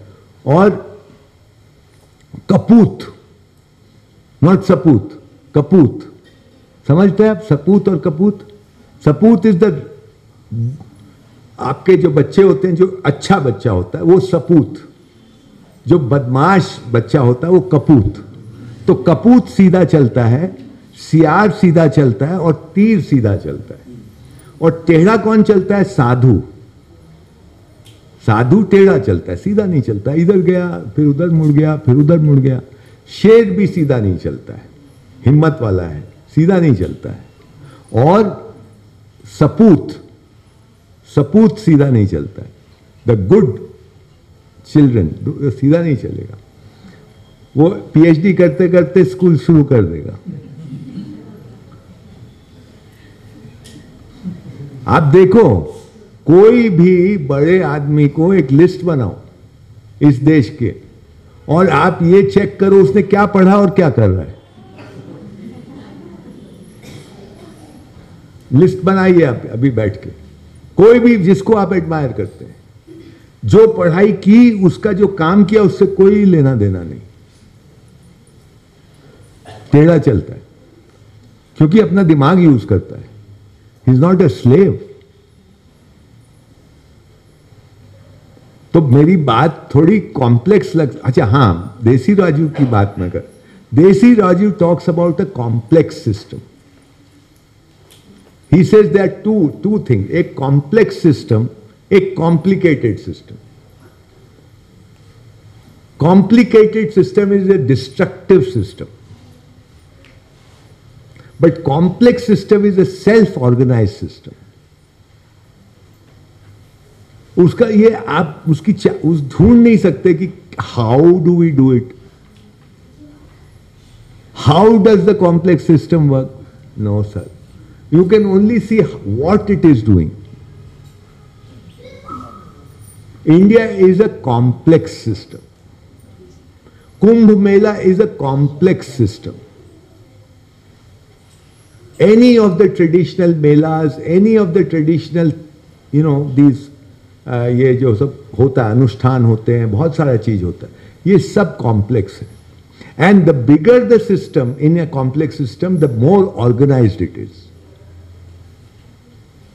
it's self corrective तो India has been a complex system India कभी भी ये मॉडर्न सिस्टम सी, एकदम सीधे सीधे ये बटन दबाओ वो बत्ती जल गई। अरे वाह और बच्चा ऑब्ज़र्व करके बोलता वाह ये देखो इसका कनेक्शन देख लेता छोटा बच्चा। हम बोलते कितना इंटेलिजेंट बच्चा है देखो।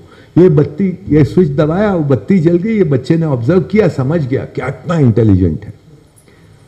लेकिन हमारा ट्रेडिशनल दिमाग जितना भी ट्रेडिशनल नॉलेज है, आप देखिएगा कभी, इस इस पे एक प्रोजेक्ट करिए स्कूल में। ट्रेडिशनल हाउ डज द आपका लोक लोक जीवन में पारंपरिक ज्ञान कैसे, क्या है? जैसे वो ये बता देंगे कि पंचमी के दिन आप लता लगाएँगे तो लता बहुत अच्छी बनेगी। लता ना, कद्दू की लता, जो जो भी, वाइन क्या बोलते हैं उसको, लता को? क्रीपर। कोई भी क्रीपर को fifth day of the moon you know waxing side और waning side of the moon आप फिफ्थ डे को लगाएँगे तो अच्छा बने। ऐसा हमारी पारंपरिक ज्ञान बोलता है। हम ये बोलते हैं कि आप एक दिन पाँच, पंचमी के दिन लगाइए, एक दिन अष्टमी के दिन लगाइए, नवमी के दिन, दसवीं के, लगा के देखिए तो सही। If it works then accept it why do you want to know why and how if it works it works why do want to be so scientific होता है तो ठीक है ना, कर लो अच्छा ही है तुम्हारे लिए। हमारे यहाँ ये मानते हैं कि जब waning side of the moon मतलब पूर्णमाशी के बाद वाला जो पक्ष होता है, फ़सल को उसी समय काटना है। अमावस्या के बाद वाले पक्ष में नहीं काटना है। अगर उस समय काटोगे तो उसमें कीड़े लग जाएँगे। करके देख लो। महाराष्ट्र के गाँव में ये ये जो, ये पूरे देश में ये मानते हैं कि कौवा कौवा, क्रो, अगर अपना घोंसला पेड़ के बीच में बनाता है, यानी या पेड़ पेड़ है, ये पत्ते हैं, बीच में घोंसला बनाया, कब बनाता है कौवा घोंसला? Which month you know do you know that every animal only gives birth at a particular point of time not like human beings हम लोग का बर्थडे जनवरी से लेकर दिसंबर तक होता है ना? पर कुत्ते का, बिल्ली का, शेर का, चूहे का, पक्षी का कौवे का ऐसा नहीं होता। उनका बर्थडे कुछ फिक्स्ड नहीं होता है। ये मालूम है कि नहीं? मालूम नहीं है तो ये बताइए बच्चों को।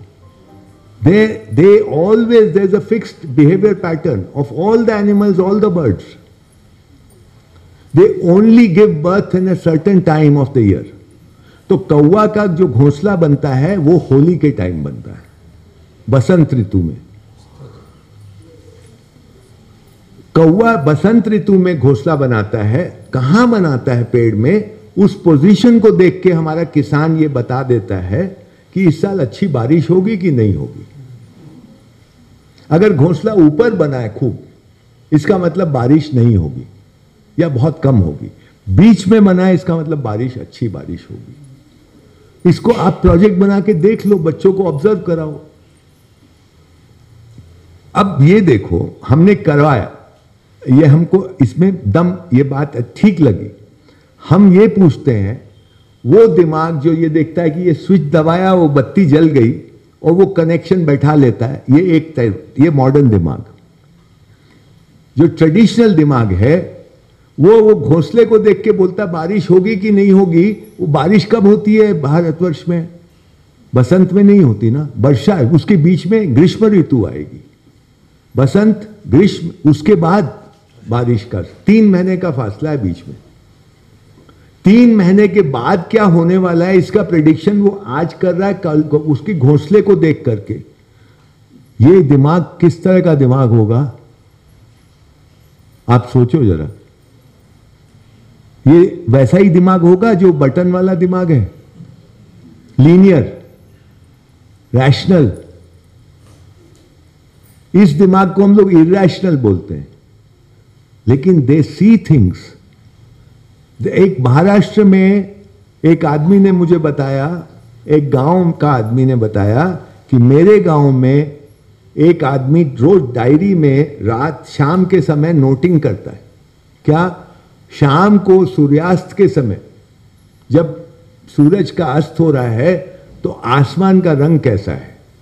अगर आसमान का रंग ब्लड रेड है, रक्तिम है, खून के जैसा तो वो नोट कर लेता है, उसके नौ महीने के बाद उस गाँव में बारिश होके रहेगी। उस गाँव में, क्योंकि वो सूर्यास्त कहाँ देखा? उस गाँव में देखा। बैंगलोर में नहीं देखा। बैंगलोर का सूर्यास्त बैंगलोर के बारे में बताएगा। उस गाँव का सूर्यास्त, हर गाँव का सूर्यास्त अपना सूर्यास्त है। ये मेरा सूरज है। हाँ सबका भी है, पर मेरे गाँव का सूरज छह बज के तीन मिनट पे कल उगेगा। आपका सूरज कोई और टाइम में उगेगा। तो वो सबका होते हुए भी मेरा है। ये भाव हमारे दिमाग में रहा है हमेशा से। ये मेरी धरती है, होगी सबकी, पर ये मेरी धरती है। ये मेरी नदी है, ये मेरा सूरज है। और वो सूरज को देख के वो बोलता है कि आज अगर लाल है ब्लड रेड है तो नौ महीने के बाद तिथि नॉट अंग्रेज़ी कैलेंडर नहीं तिथि के अनुसार नौ महीने के बाद वहाँ बारिश होगी। ये हम बच्चों से ये प्रोजेक्ट क्यों नहीं करा सकते? बच्चों को दिखाया गया और उनको बोलो देखो ये वाई से सब कुछ नहीं होता है। ये थोड़ा साइंस को वहाँ से इधर थोड़ा लाने की ज़रूरत है। और परंपरा को थोड़ा यहाँ से यहाँ ले जाने की ज़रूरत है। बैलेंस तो, तो होना थोड़ा सा। तो ये, वो क्या मानते हैं गाँव के लोग कि रक्तिम होता है उस दिन, संभोग होता है पृथ्वी और आकाश के बीच में। तो नौ महीने बाद संतान होगी वृष्टि होगी। ये उनका लॉजिक है भाई। आप कैसे उसको बकवास बोल सकते हैं? ये हमारे शास्त्रीय लॉजिक नहीं है, ये लोक परंपरा है। ये लोक परंपरा भी बहुत ऊँची चीज़ है। इसी से ये देश बचा हुआ है। उस लोक परंपरा में आप अगर अपने जो भी आपकी भाषा है, उसके कहावतें, उसके मुहावरे को अगर आप इकट्ठा करा लें बच्चों से, उसमें आपको स्वास्थ्य के बारे में, भोजन के बारे में, मौसम के बारे में, दुनिया भर का खेती के बारे में, बीजों के बारे में दुनिया भर का ज्ञान मिलेगा। कौन से समय क्या चीज़ खानी है, कौन से समय कौन सी चीज़ नहीं खानी है, रात को फूलों को क्यों नहीं तोड़ना है बहुत कुछ बहुत कुछ। ऐसा होगा तो ऐसा होगा ऐसा होगा तो ऐसा होगा। बादल ऐसा दिखेगा तो बारिश होगी, वैसा दिखेगा तो बारिश नहीं होगी। कितना सब कुछ है उसमें। This is worth preserving this is worth showing to the children so that they have some respect for their tradition you know अब तो कुछ रिस्पेक्ट नहीं है बच्चों में ट्रेडिशन को लेके। डू ऑल द कर्म कांड you want to do all due respect to that but this modernity को जब तक आप चैलेंज और ढंगों से नहीं करेंगे यू नो हम मुश्किल होने वाली है।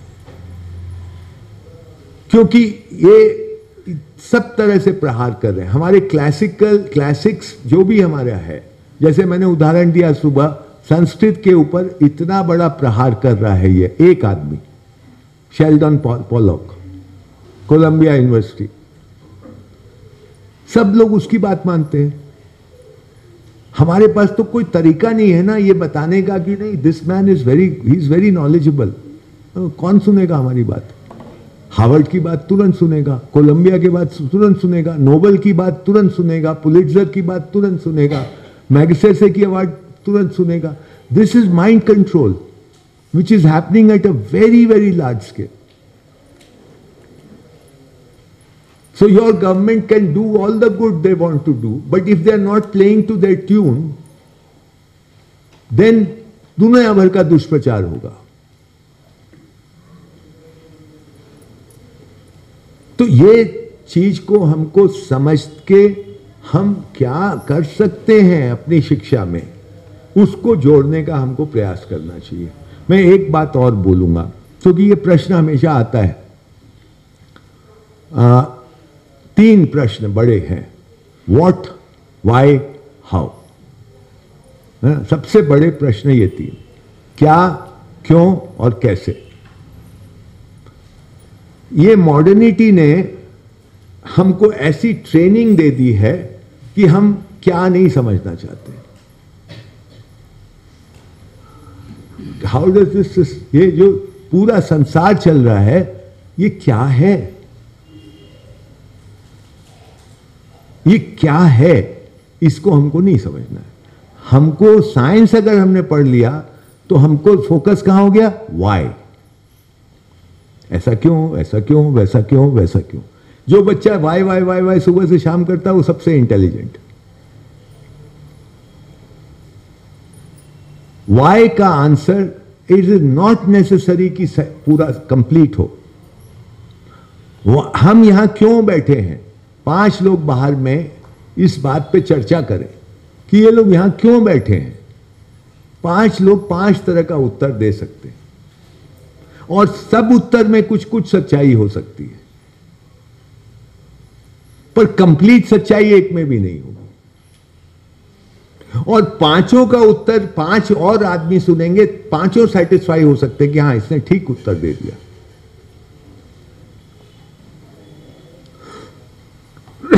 Science normal science I am not talking जो सबसे बहुत बड़े वैज्ञानिक हैं, उनकी बात में नहीं कर रहा जो, वो तो फिलोसफर हो जाते हैं। आमतौर पे साइंस का मतलब हो गया, क्यों पूछो क्यों पूछो क्यों पूछो?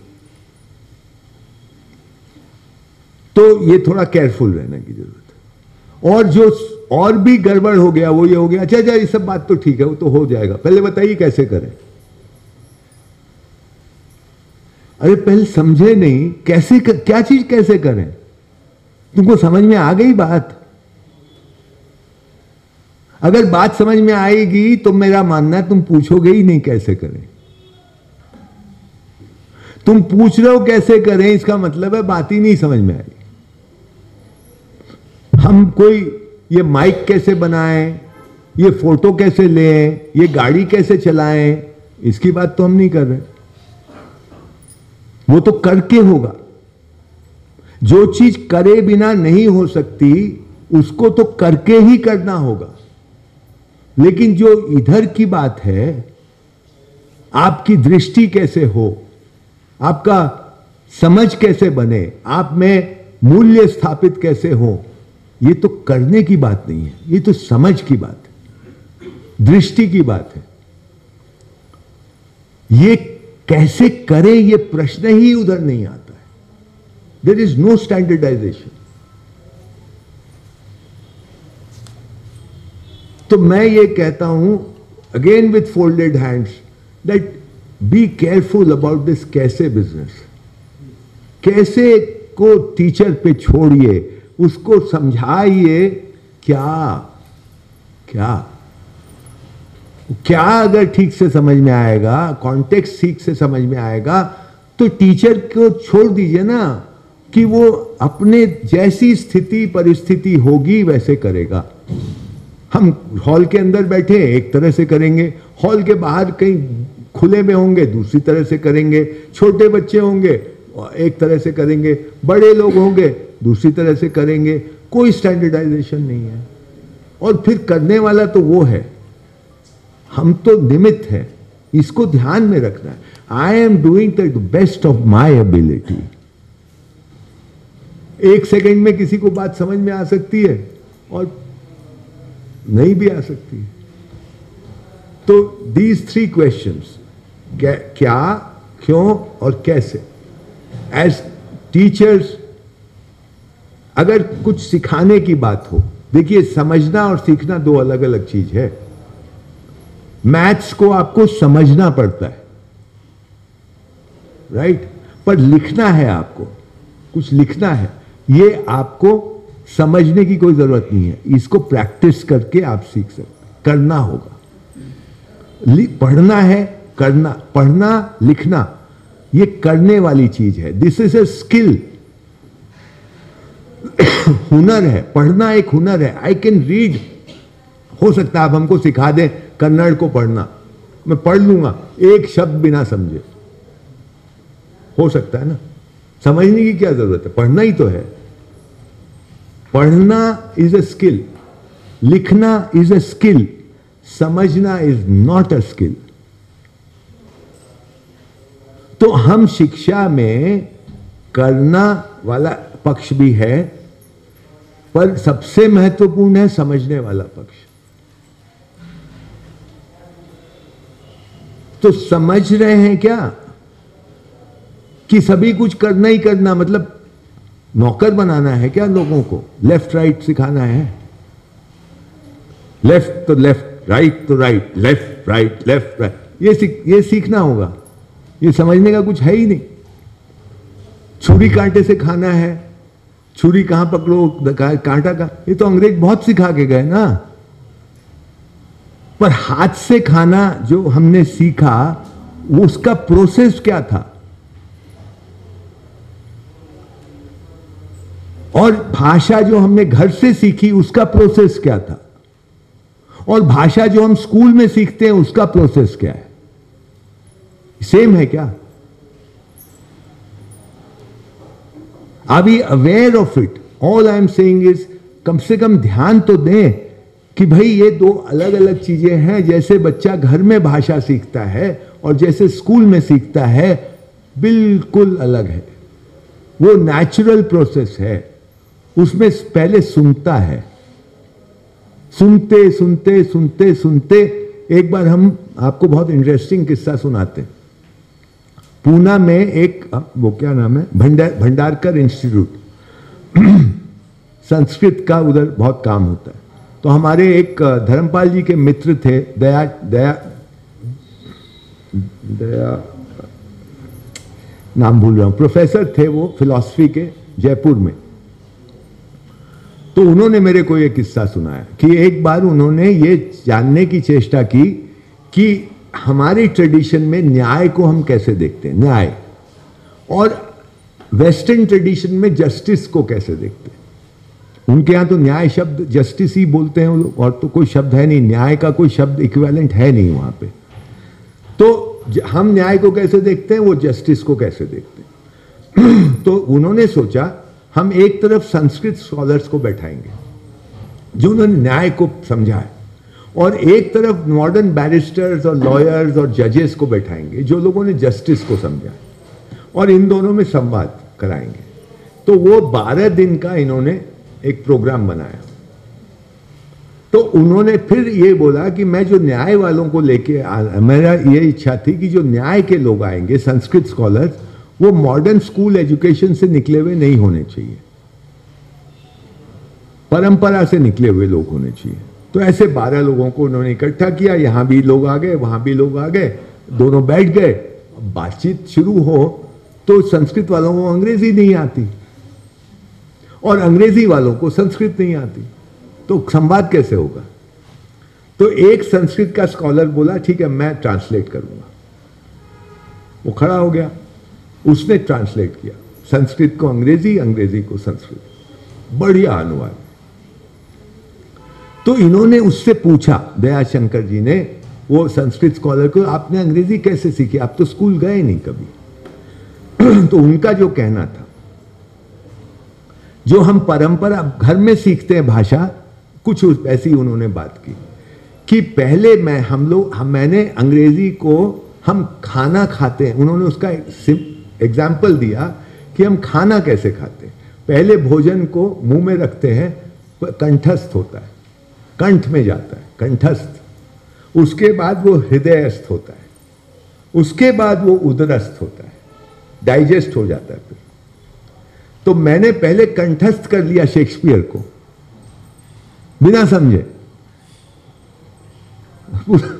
याद कर लिया। फिर वो धीरे धीरे it started making some sense कुछ डिक्शनरी विक्शनरी भी लिया होगा। एंड धीरे धीरे this is was he explain this was my process of learning English what I am saying is घर में हम कैसे सीखते हैं भाषा सुनते हैं ना? सुनते रहते सुनते रहते एसोसिएशन होता रहता है। माँ कुछ बोलती है, वो बच्चा कुछ समझ जाता है। धीरे धीरे एसोसिएशन से समझ। सुनता बहुत है। सबसे ज़्यादा सुनता है। न दे- न पढ़ता है, न लिखता है। सुनता है। सुनने के बाद क्या करता है? बोलता है। लिखना, पढ़ना बाद में। हम लोग कैसे सिखाते हैं स्कूल में? हम लोग शुरू से पढ़ने लिखने पे ज़ोर देते क्योंकि कोई ने बता दिया, वेस्टर्न स्कॉलर ने, ऐसा ही होता तो आई थिंक हमको, अगर आप सचमुच में टीचर हैं, यानी not just because you are doing a job अगर ये प्रोफेशन इज़ आप इसकी सेक्रेडनेस समझते हो कि how noble profession this is और इससे पूरा भारतवर्ष और दुनिया जुड़ी हुई है। ये अगर आपको समझ में आता है, आप उसको जोड़ पाते हो तो आप सबसे पहले जो काम आपके साथ होगा, वो होगा आप प्रयोग धर्मी बन जाओगे। अपने ऊपर प्रयोग, अपने साथ प्रयोग, और फिर उसमें से बहुत कुछ निकलेगा। ऐसा मैं मानता हूँ। क्योंकि ऐसा मेरे साथ हुआ है। हमको तो कुछ भी एबीसी भी नहीं मालूम था एजुकेशन का।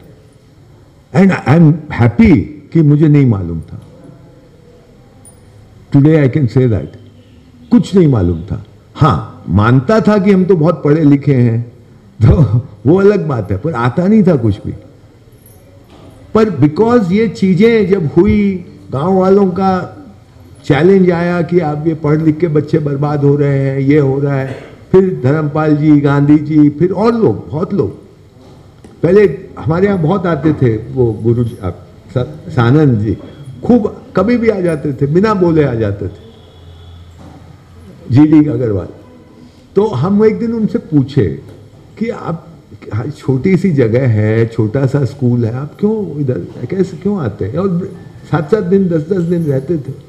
अरे हम लोग कोई उनसे, वो वहाँ रहे, उस टाइम वो गेरवा नहीं पहने थे। तो हमको बोले कि यहाँ ईमानदारी से काम होगा इसलिए आता ये नहीं बोले, बहुत अच्छा काम होगा एक ही बात बोले कि यहाँ ईमानदारी से काम होगा तो ईमानदारी रखिए और ध्यान दीजिए और किसी के प्रभाव में मत आइए। माने स्पेशली मॉडर्न वेस्टर्न थियोरीज के प्रभाव में मत आइए। उसमें बुनियाद मैं ये मानता हूँ, बुनियादी रूप से खोटे फंडामेंटल मिस्टेक कहीं उनके साथ हुआ है। उसमें लीनियरिटी है। उसमें आदमी को गुलाम माना गया है। हमको सबको सिखाना है। मैं जानता हूँ, मुझे सिखाना है। ये एक भाव है। एंड दैट इज़ भाव is not coming from tradition वो सत्य से नहीं आ रहा। वो डिवाइन सोर्स से नहीं आ रहा है। It is coming out of arrogance it is coming out of a thinking that there be few people who will control और बाकी लोगों को कंट्रोल करना। So before accepting anything from the west let's be very careful मैं अपनी बात यहाँ अभी बंद कर आपको कुछ पूछना होगा तो अपन एक सेकेंड स्मिता तुम पूछ रहे थे हम बीच में रोका आपको आप कुछ पूछने वाले भूल गए। English English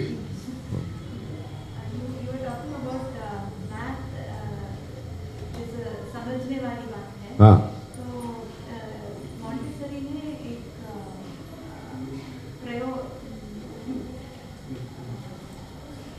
she has de- devised a few materials where uh, children can work with it, ma- manipulate, manipulate it. Where children can work with it, do things with it, and then learn. Yeah, yeah. For example, um, two plus two is four. Yeah. Uh, addition or subtraction, whatever basic things. Um, they do work with the material and learn. So even that is a good way. But she has thought these things. She has thought of these things, and uh, she has uh, come up with thi- this idea of, uh, of making the children work with the So, just wanted to share that. नहीं देखिए छोटा बच्चा तो जो आप बोल रहे वैसे ही होगा। वो इमिटेशन भी करता है। छोटा बच्चा नकल भी करता है। जो माँ बाप करते हैं भाई बहन करते हैं उसका नकल भी करता है। वो सब उसमें करना बहुत इंपॉर्टेंट है छो, बहुत छोटे बच्चे के लिए।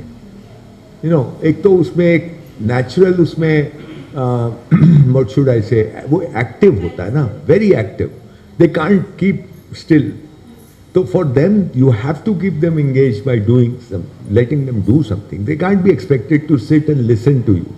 It's not possible. So that's all right. But I am talking in general, at a certain age. See, the thing is, human, we are human beings. We are not animals.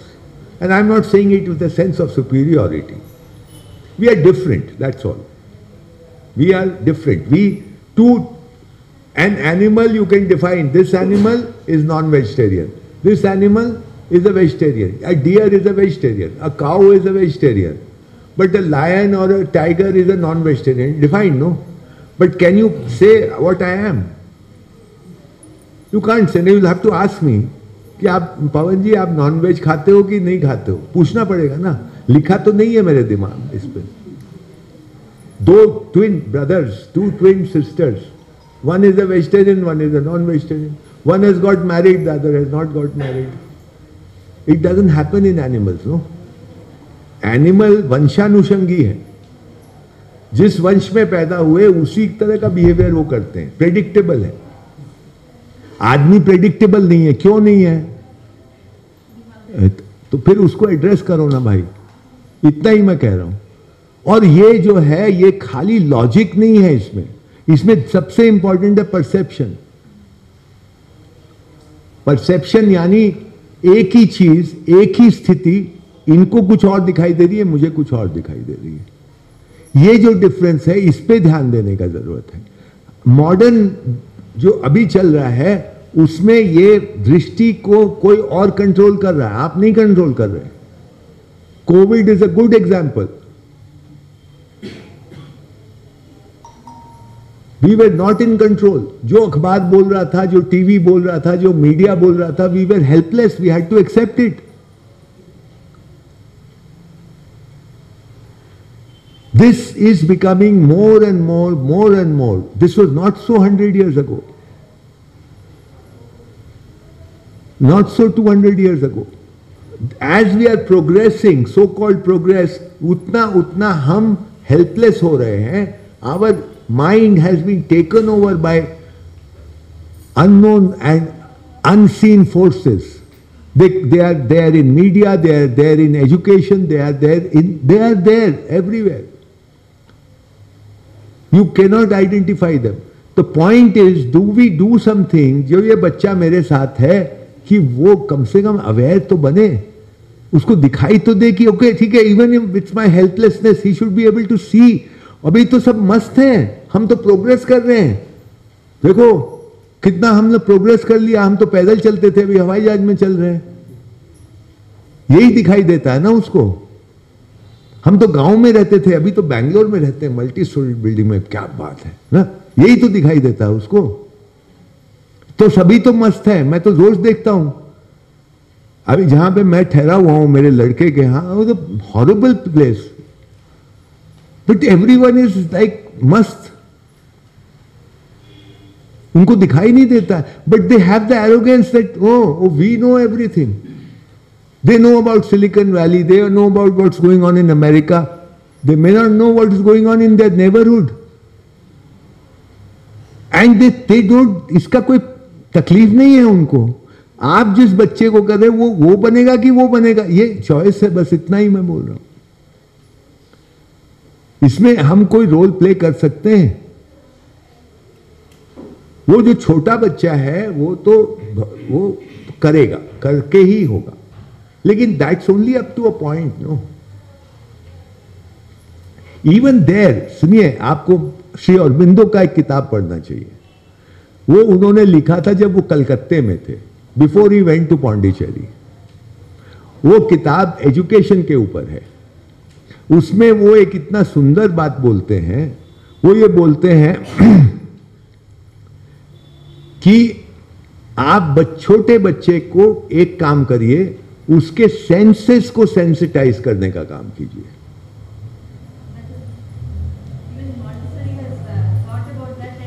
Shri Aurobindo was before Montessori madam please please I mean let me talk about Shri Aurobindo Montessori बोली होगी, मुझे नहीं पता। मेरे को अपने आदमी का पता है।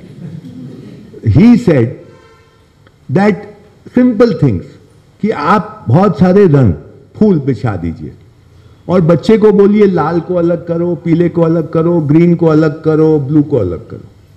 ठीक है, कर देगा बच्चा अलग। फिर आप लाल जो रंग है, पंखड़ी है, वो क्या बोलते हैं उसको? हाँ? पेटल्स उसमें आप बोलिए, सब लाल एक जैसा है क्या? ना, उसमें थोड़ा शेड पे फ़र्क है। फिर वो वो छोटे छोटे शेड देखेगा। उसी तरह ग्रीन में, उसी तरह ब्लू में, उसी तरह येलो में। The same thing with ear this is with eyes then you take drums tabla भी लाइए ड्रम भी लाइए, और मृदंगम भी लाइए। फिर आप सितार लाइए, आप वायलिन लाइए। जितने भी स्ट्रिंग के इंस्ट्रूमेंट्स होते हैं, फिर आप ट्यूनिंग फॉर्क लाइए, फिर आप बेल्स लाइए, घुंघरू लाइए, वो सब अलग अलग करेगा कि ये ये ड्रम की आवाज़ है, ये घुंघरू की आवाज़ है, ये स्ट्रिंग की आवाज़। फिर उस स्ट्रिंग के अंदर में फ़र्क है छोटा छोटा सितार की आवाज़ और वायलिन की आवाज़ अलग अलग है। उसी तरह टेस्ट में, जितने भी पाँच सेंसेस हैं, सब में ऐसा करिए। और उसकी, उससे, वो ये कहते हैं कि ऐसा करने से बच्चे का सेंसिटिविटी बढ़ेगी। और वो जब बड़ा होगा तो शब्दों का चुनाव बहुत एक्यूरेटली करेगा। पर्यायवाची पर्यायवाची नहीं होते। हम कहते हैं कि सिनोनिम है, लेकिन वो पर्यायवाची नहीं होते। उसके यूसेज अलग अलग होते हैं। उसमें छोटा छोटा सटल डिफरेंस होता है। तो वो बोले, उसको सुनने की हाउ टू हियर अभी the biggest problem of today's people is they don't listen they hear they don't listen और लिसनिंग की आदत, पाँच मिनट के बाद तो बोर होने लगते हैं। हमारे गाँव में मैंने ये प्रयोग किया है, हमारे 35 स्कूल चलते थे। तो कुछ स्कूल बहुत दूर से, और कुछ स्कूल थे सड़क के पास। जो सड़क के पास के बच्चे थे, वो लोगों को एक कमरे में बैठा दीजिए। से उनका एज ग्रुप है आठ साल से लेके बारह साल के बीच का। और आप बोले, सुनो, थोड़ी देर चुपचाप बैठो, मैं आता हूँ थोड़ी देर में। जो गाँव के पास के बच्चे हैं, उनको भी ऐसा करिए। फिर जो बहुत दूर के गाँव के बच्चे उनको भी ऐसा करिए। दूर गाँव के बच्चे, अगर आप बोलेंगे, मैं पंद्रह मिनट जा रहा हूँ, तुम चुपचाप बैठो, वो चुपचाप बैठेगा। थोड़ा हिलेगा डुलेगा। He not sit like this but will be okay उसको प्रॉब्लम नहीं है। जो गाँव सड़क के पास का बच्चा है, वो पाँच मिनट में फिर कुछ उसको, कुछ करना है। और मसूरी का बच्चा है तो तो दो मिनट भी नहीं बैठ सकता। और अगर दिल्ली का बच्चा है तो एक मिनट भी नहीं बैठ सकता। ये एकदम शार्प डिफरेंस आपको दिखाई देता है। गाँव का जो अभी अनटच्ड है, वो he is happy with himself you know he doesn't want to do कुछ ना कुछ करना है हर समय। मस्त है अपने साथ। जो जितना ज़्यादा एक्सपोज हो गया, वो उतना ज़्यादा उसका अटेंशन स्पैन इतना छोटा सा हो गया। वो सुन ही नहीं सकता, वो चुपचाप बैठ ही नहीं सकता। तो we need to do something so that this child हम करते क्या उल्टा? हमको क्या थ्योरी क्या मिल गई? ओ, बच्चे का अटेंशन स्पैन टू मिनट्स तो कीप बिकमिंग दो मिनट में एक करो, फिर दो मिनट में कुछ और करो, फिर दो मिनट में कुछ और करो, फिर दो मिनट में कुछ कुछ नहीं घुसता उसके दिमाग में। Why don't we take this challenge कि मैं आधा घंटा तक उस बच्चे के साथ उसका अटेंशन रखूँगा एक जगह। This is my challenge but we because the theory has come from there तो हमने मान लिया उसको। मैं तो चार घंटे एक आदमी को सुन सकता हूँ, अगर वो ठीक बोलता है तो। किया है मैंने। और मेरे को कभी ये थ्योरी समझ में नहीं आई। अभी आजकल बोलते नहीं नहीं you must make the session interactive अगर इंटरैक्टिव नहीं होगा, लोग सो जाएँगे बोर हो जाएँगे। ये क्या बोर होता भाई? मतलब की बात है तो क्यों कोई बोर होगा? बट आदत नहीं रही। कंडीशनिंग ऐसी हो गई है। so can we reverse this in our school this is what I am saying we have to start what they say they are take making मेरा ये पूरा विश्वास है कि modern theories are taking you towards making you more and more mechanical more and more disturbed more and because if you if you don't have faith if you can't sit still for 2 minutes if you want to do something all the time you are subject to manipulation आप vulnerable हैं, आपको manipulate किया जा सकता है। आप अगर still हैं, आप अगर स्थिर हैं, आप अगर आप में धैर्य है, आपको जल्दी से मैन्युपुलेट नहीं किया जा सकता। इसलिए ये एक सिस्टमेटिक काम हो रहा है कि आपको डिस्टर्ब करके रखना है all the time this is being done through music मैं आपको एक एग्ज़ाम्पल सच्ची बात बता रहा हूँ। मैं धर्मशाला बहुत जाता हूँ। आज से करीब पंद्रह साल पुरानी बात है। वहाँ पे दो अमेरिकन थे। मेरे एक दोस्त के दोस्त थे। वो लोग वहीं पे रहते थे। बुद्धिस्ट थे। ललाई लामा वहाँ रहते हैं तो वो वहाँ पे कुछ फिलॉसफी का कोर्स वोर्स कर रहे थे। उन्होंने हमको एक बात बताई कि सिक्सटीज में ये प्रयोग हुआ पूरी दुनिया के लेवल पे। जब से ये म्यूज़िक आया पॉप म्यूज़िक ये जो बीटल्स के साथ जो हुआ, उस समय एक प्रयोग हुआ दुनिया में, उसका कहना था, मैं उसको वो नहीं कर सकता, लेकिन इंटरेस्टिंग थ्योरी थी। वो बोला कि भारतीय म्यूज़िक जो भी हो नॉर्थ का हो साउथ का हो मतलब जो हमारा जो हमारा क्लासिकल म्यूज़िक है even our folk music I am not talking of Bollywood जो हमारा फोक और क्लासिकल म्यूज़िक है, उसका जो फ्रीक्वेंसी है, उसकी रेंज, वो हमको बताया कि इसके इसके बीच में ये रेंज है। और उसका मीडियन रेंज भी उसने कुछ बताया। और वो बोला, ये सारा जो मॉडर्न म्यूज़िक है, पॉप म्यूज़िक, इसकी रेंज उससे थोड़ी हायर है। और उसका ये कहना है कि इस, ये जो रेंज है this disturbs the mind that keeps the mind agitated. And this other kind of music, the Indian music, soothes the mind. ये माइंड को सूद करता है शांत करता है वो एजिटेट करता है। And the whole idea is to keep the mind agitated if you are agitated you shop more agitated mind ये रिसर्च हुआ है कि ज़्यादा एजिटेटेड माइंड ज़्यादा शॉपिंग करता है। अगर पैसा है तो। अगर एजिटेटेड माइंड ज़्यादा डिस्टर्ब रहेगा, ज़्यादा बीमार पड़ेगा। All this goes towards increasing consumption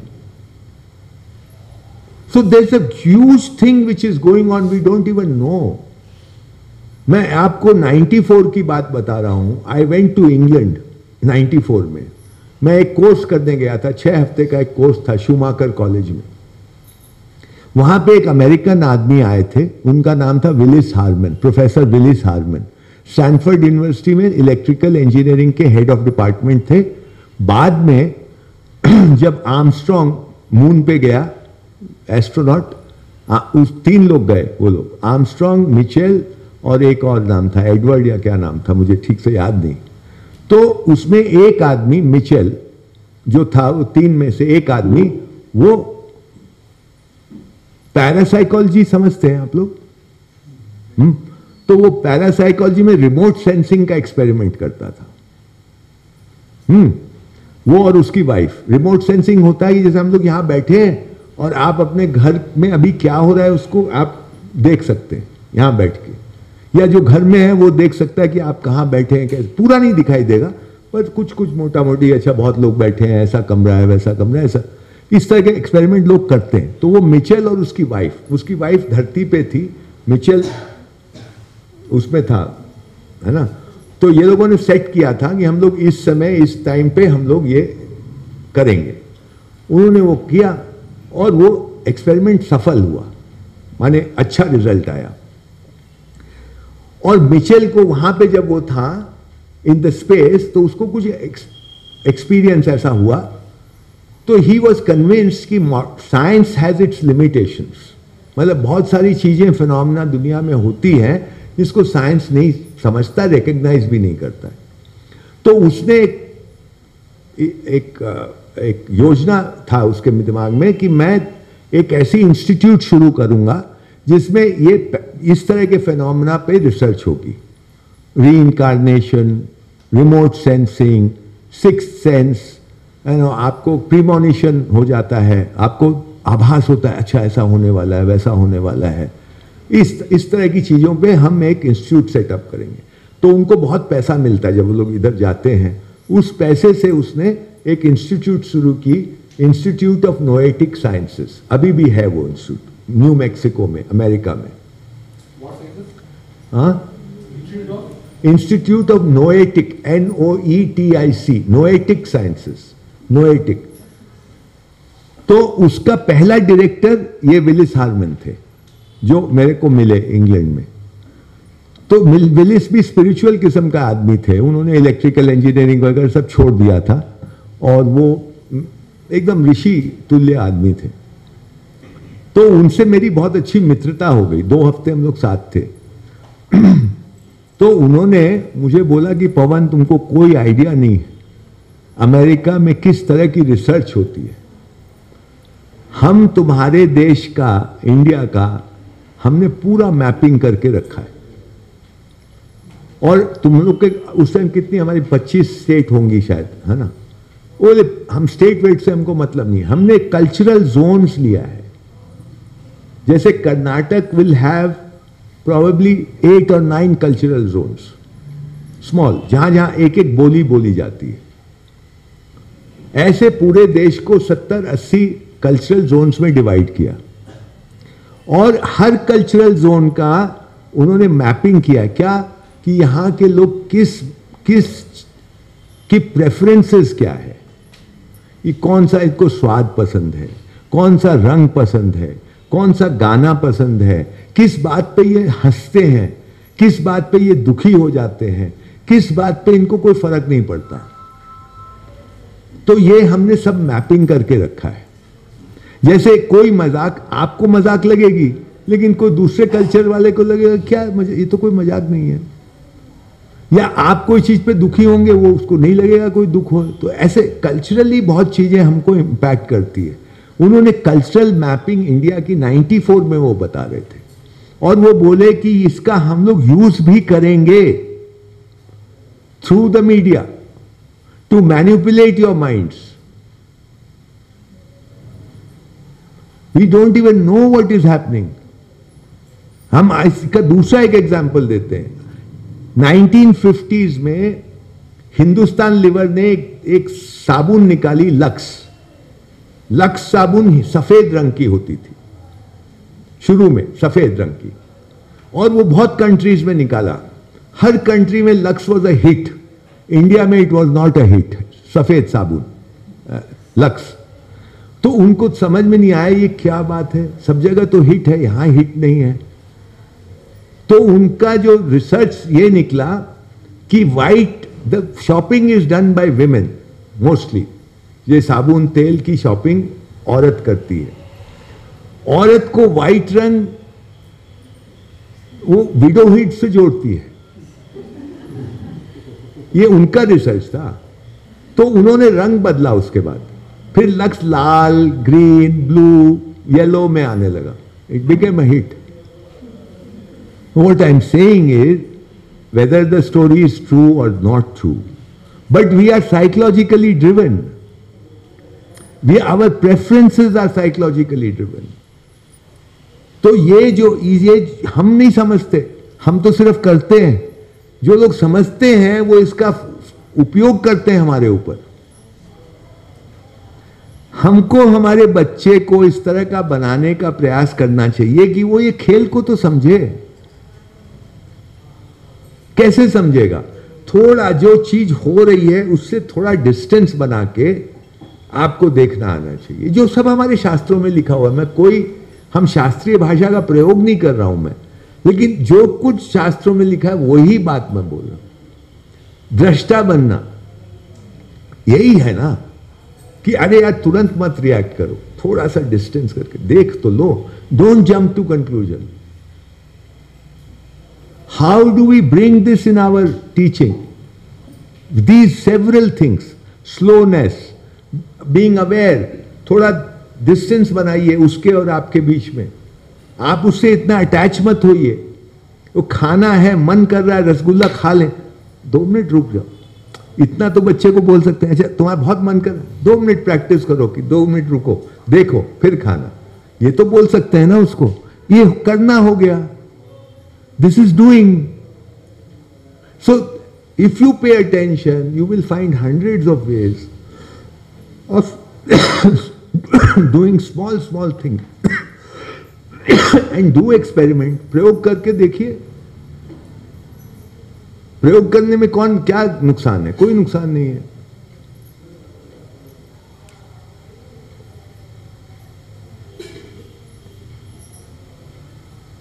हम लोगों ने एक बार ये हमको लगा ऑब्ज़र्व हुआ मेरा, कि स्कूल के बच्चे हिस्ट्री नहीं पढ़ना चाहते।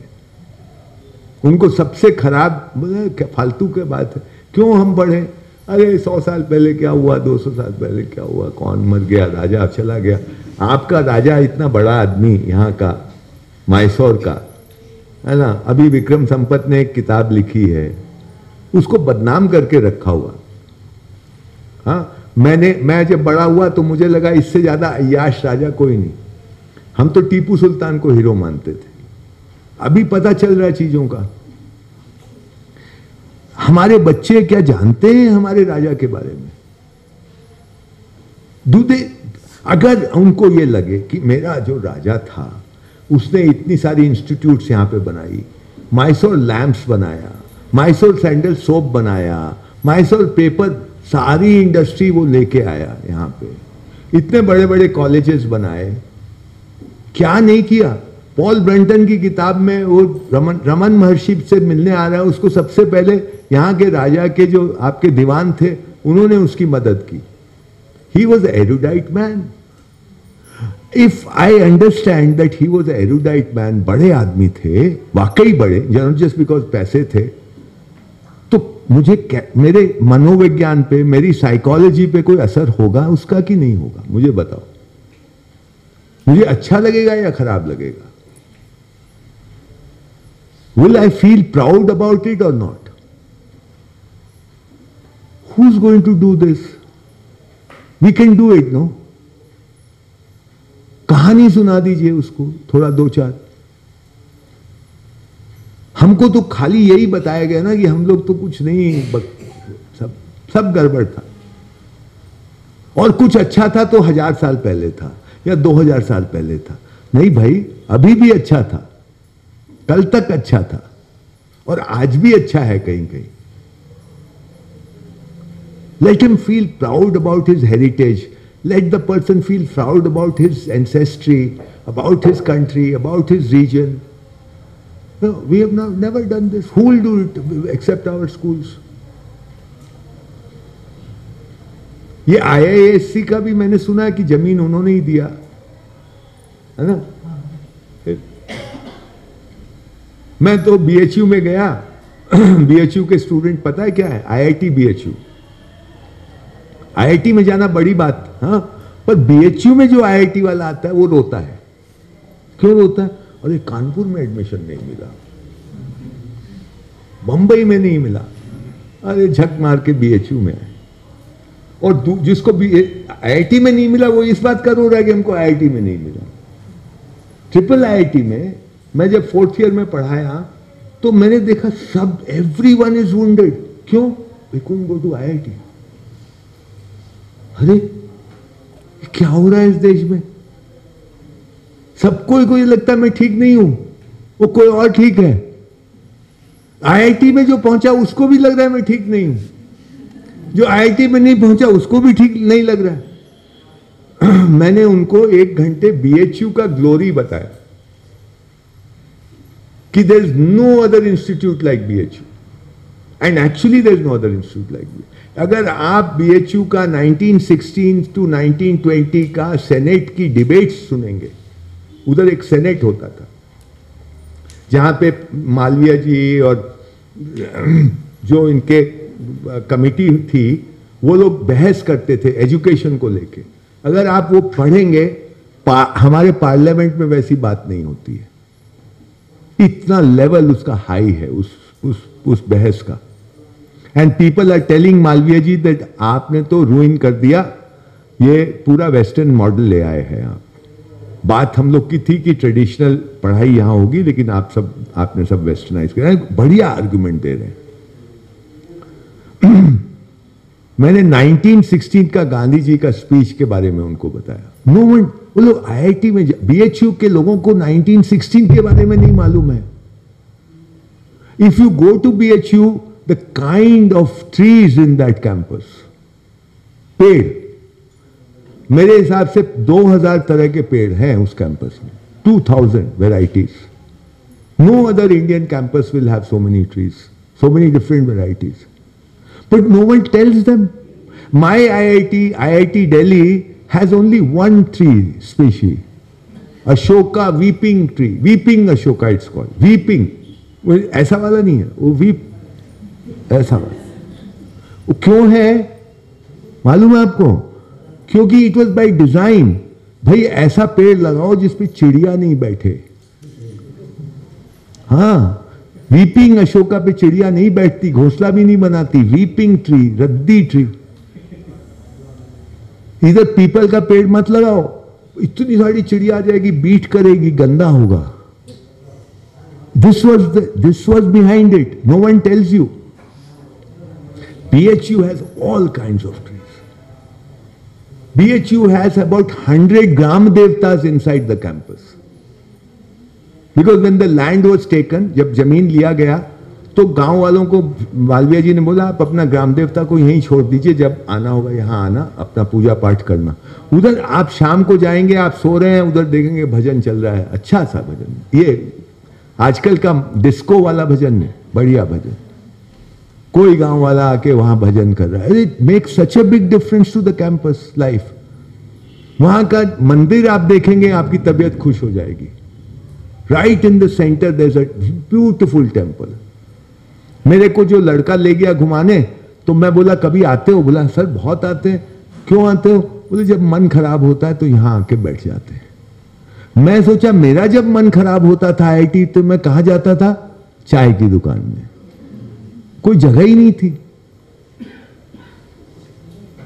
So this, the the importance of design, you know, how design is so important, it impacts our psyche, it impacts our ये मुझे बीएचयू में जाके समझ में आया। जब मैं उन लड़कों को बोला तो उनको थोड़ा अच्छा लगा कि ओ we come to a good place नहीं तो सब रो रहे थे कि, अरे यार बीएचयू में आ गए, कानपुर नहीं गए, बॉम्बे नहीं गए, मद्रास नहीं गए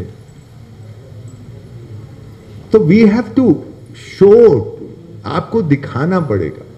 आप थोड़ा हो जाएगा। हिम्मत रखिए, थोड़ा अपना दुनिया को बड़ा कीजिए, चीज़ों को कनेक्ट कीजिए, होगा। There is no magic wand I don't have at least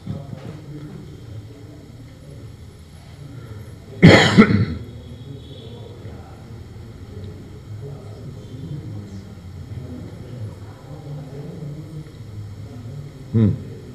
So you're talking about uh, uh, same thing Maharashtra started this process of Ekadasi, right?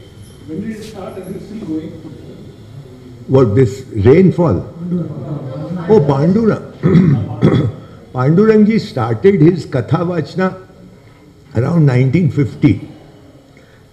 and this project started around 1959 or 60, something like that.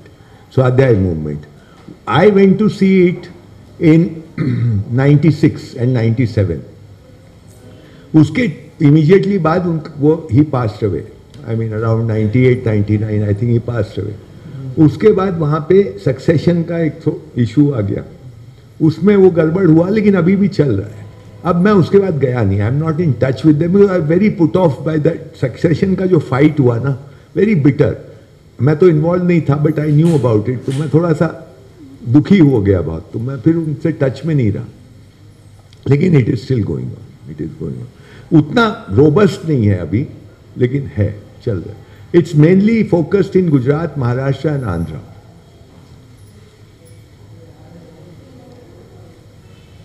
एक just one You use the word complex system. Hmm. Like, so the web of modernity and the modern education system also seems to be complex. Absolutely all our melas no जितने मेले लगते हैं हिंदुस्तान में traditional मेले जो पता नहीं कब से लग रहे हैं हाँ? वहाँ they are complicated system. That's that's this. Pro, I when I was speaking to him for two hours, this Desi Raju, it made sense to me. I haven't thought after that. I have to think a little more. But he was saying complex systems and complicated systems. They are two different kind of systems. Complex systems are self-regulating systems. You don't have to do anything. वो अपने आप ही regulate. He even said cancer is a complex system. Cancer जो disease है it's a complex system आप इधर से address कीजिए वहाँ से वो ठीक वो अपने को ठीक कर देगा माने आपको बीमार करेगा लेकिन अपने को ठीक कर देगा it will not go away so easily complicated systems are actually they जो थर्मोडाइनमिक्स का प्रिंसिपल है केओस बढ़ाने वाला मामला वो कॉम्प्लिकेटेड सिस्टम है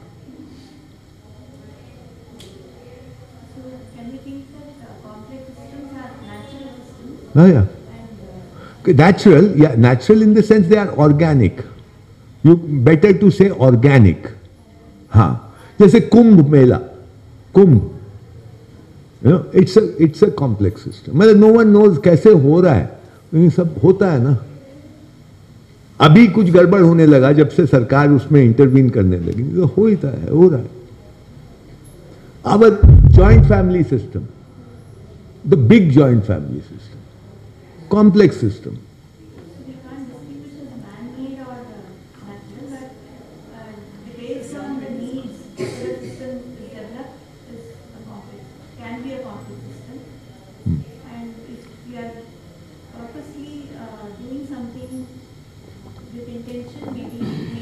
Yeah.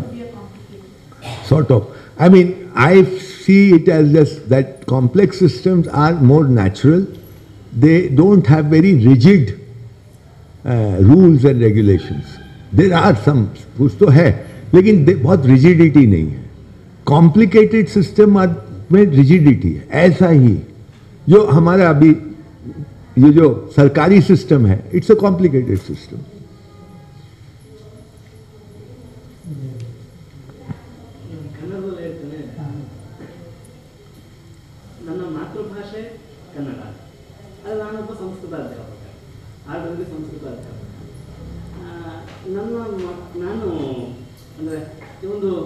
ಹೇಗೆ ಇದನ್ನು ತೊಗೊಂಡು ಹೋಗಬೇಕು? ಮೂಲತಃ ಮಾತೃಭಾಷೆ ಕನ್ನಡ ಆದ್ದರಿಂದ ಆ ಕನ್ನಡದ ಒಲವು ಜಾಸ್ತಿ ಇರೋದ್ರಿಂದ ಸಂಸ್ಕೃತವನ್ನು ನಾನು ಎಷ್ಟು ಪರ್ಸೆಂಟ್ ಕಲಿಸ್ತಾ ಇದ್ದೀನಿ ಅನ್ನೋದೇ ಒಂದು ಗೊಂದಲದ ಸಂಗತಿಯಾಗಿದೆ ಹಂಡ್ರೆಡ್ ಪರ್ಸೆಂಟಲ್ಲಿ ನಾನು ಕಲಿಸ್ಲಿಕ್ಕೆ ಆಗ್ತಿಲ್ಲ ಅನ್ನೋದು ನನಗೆ ತುಂಬ ಒಂದು ಗೊಂದಲದ ವಿಷಯ ಆಗ್ತದೆ.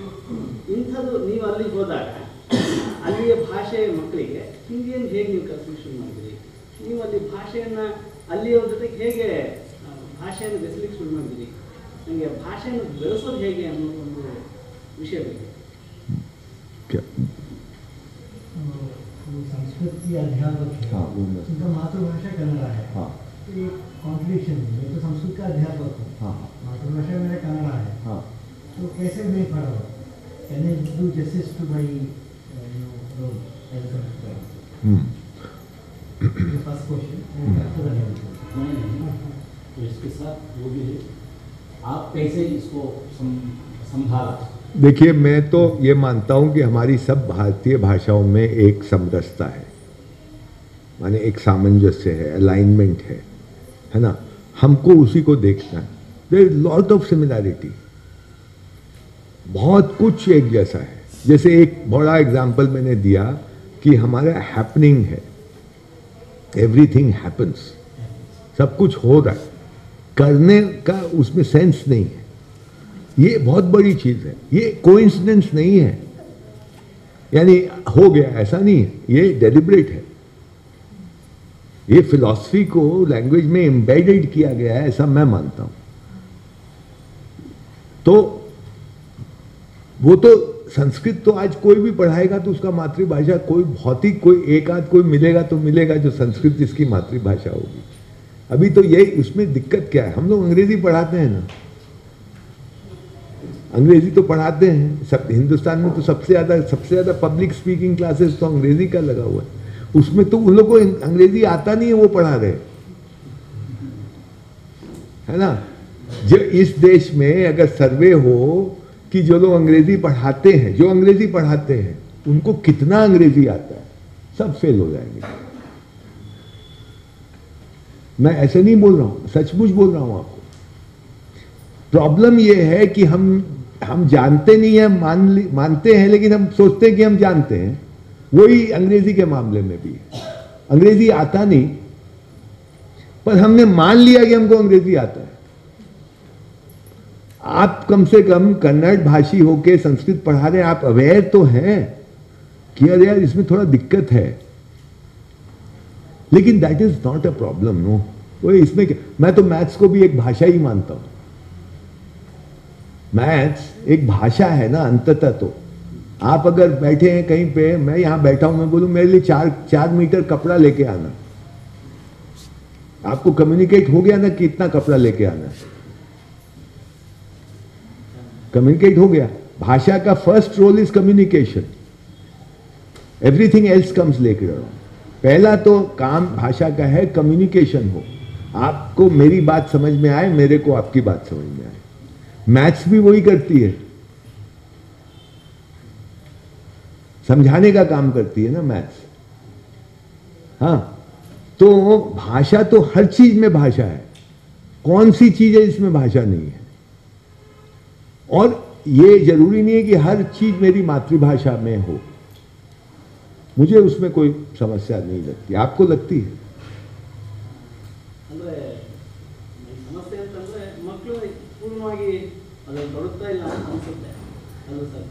क्या? संस्कृत में हाँ। सब नहीं डाल सकते हैं क्योंकि इसको कन्नड़ भाषा का प्रेम जो है वो रुकावट देती है तो ये इसका प्रॉब्लम अच्छा अच्छा। अच्छा ये मैं इसको ठीक से समझ नहीं पा रहा हूँ इसलिए कि जैसे मेरी, मेरा जो मदर टंग है, हम तो हिंदी ही मानते लेकिन मेरे इंसेस्टर्स की भाषा मारवाड़ी है, ठीक है? पर मैं मारवाड़ी बोल लेता हूँ। मैं अपने जनरेशन में लास्ट हूँ, मेरे बाद कोई नहीं बोलता मारवाड़ी। सब अंग्रेज़ हो गए ना, या हिंदी या अंग्रेज़ी हो गए। तो मैं बोलता हूँ, अच्छी मारवाड़ी बोलता हूँ। मेरे को मारवाड़ी हिंदी में कोई प्रॉब्लम नहीं लगता। बहुत सिमिलैरिटी लगती है। हमको कहीं कौन, वो नहीं लगता कि ये गर्व, अंग्रेज़ी हिंदी में लगता है, अंग्रेज़ी मारवाड़ी में लगता है, इसमें नहीं लगता। अगर मुझे कन्नड़ आता, अगर मुझे, मैं बंगाली जानता हूँ थोड़ा। बंगाली में और हिंदी में भी मुझे कोई दिक्कत नहीं है। बहुत सिमिलैरिटी है। बहुत सिमिलैरिटी नुआंसेस का सिमिलैरिटी है। जो सटल बात होती है, सूक्ष्म बात होती है, वो उसमें भी सिमिलैरिटी है। जैसे एक शब्द है हिंदी में, हमको पता नहीं कन्नड़ में क्या है। ये अभी हमने बोला, न निरल करके, क्या निरल निराल। आप, हमको वो शब्द बहुत पसंद है आप लोगों का, कन्नड़ का। ठीक है? हिंदी में भी वो शब्द है, अंग्रेज़ी में नहीं। निराल का आप अंग्रेज़ी करिए। आप अप्रोक्सीमेट करोगे। एग्जैक्ट नहीं होने वाला, क्योंकि इट्स सच ए ऊँचा शब्द है भाई। ऊँचा अर्थ है उसका। इट इज़ नॉट आराम it is much more than आराम इट इज़ विश्राम समथिंग लाइक दैट है ना? हमारे हिंदी में है ठाठ। अंग्रेज़ी में नहीं है।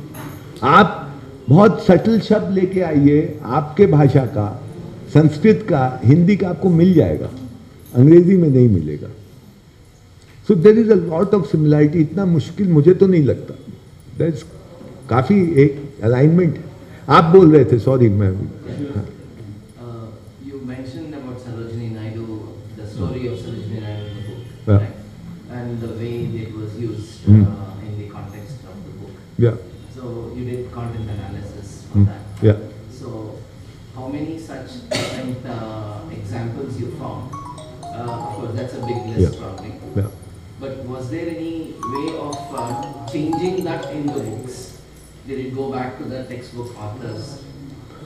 No, see, it is not deliberate. We realize that this, ये जो हो रहा है, it is not deliberate. It is the mindset of the writer. He looks at world like that. That is the tragedy. अगर वो जानबूझ के करता तो हम जाके झगड़ा करते ना उससे वो जानबूझ के नहीं कर उसका दिमाग खराब हो गया, क्या करेंगे? This is the civilizational wound that I am talking of our perception has got distorted in Krishnamurti is world it is the conditioning which is है different people have use different words but the point is that you see when be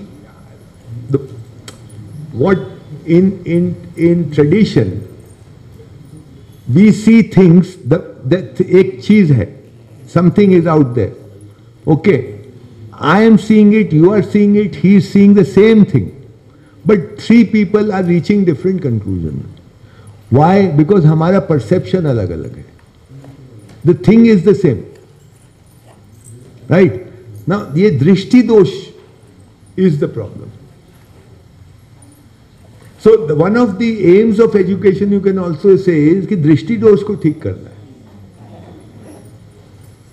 कि we can see things as they are without coming under any influence it is a difficult task but that is what it is because if you can see things as they are then your job is done for life क्या करना है उसके बाद? If you can see the snake for snake and rope for rope, end of the matter. What problem is when you are looking at the rope and you are assuming it to be a snake. फिर आपको डर लगता है you are scared and he comes and teaches me oh you should not be scared you must be brave but I am seeing the snake क्या अभी she comes and tells me no no it's not a snake it's a rope my fear is gone. Right? So, what are we doing in teaching? We are teaching don't be scared be brave और वो खुद को उसको डर लग रहा है जो बोल रहा है बी ब्रेव बट टीच कर रहा है क्योंकि ये पढ़ाया गया हमको. अभी एक सही आदमी आके बोलता भैया वो सांप नहीं है रस्सी है. I am okay in a minute This is what education should be doing We have made it too complex, according to me, or rather complicated. yeah. So it's a matter of correcting the perception.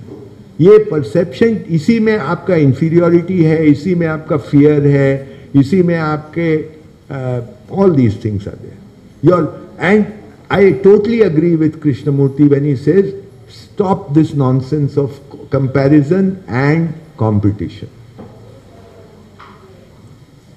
क्योंकि comparison competition एक बात और how does comparison competition can not be in the domain of intangible comparison and competition can only happen in the domain of tangible, in the domain of materialism. जो चीज़ दिखाई देता what is sensorial only in those domains you can compare you cannot compare the intangible I am honest you are honest what is the comparison no no you are less honest I am more honest और दबिश either you are honest और you are not honest खत्म बात and if two people are honest thus incomparable they are both are honest but you have more money I have more money it can be compare You are from IIT, I am from DIT, it can be compared. You are a PhD, I am a MA, it can be compared. So, material, in the material domain you can compare. In the non-material domain you cannot compare. And the entire focus is on comparison and competition. If we can somehow remove that, and that can only be removed not by preaching, but focusing your attention from the tangible to the intangible, from the material to the uh, beyond materialism. Yeah, you call it uh, qualities, बोलिए quantity से quality की तरफ़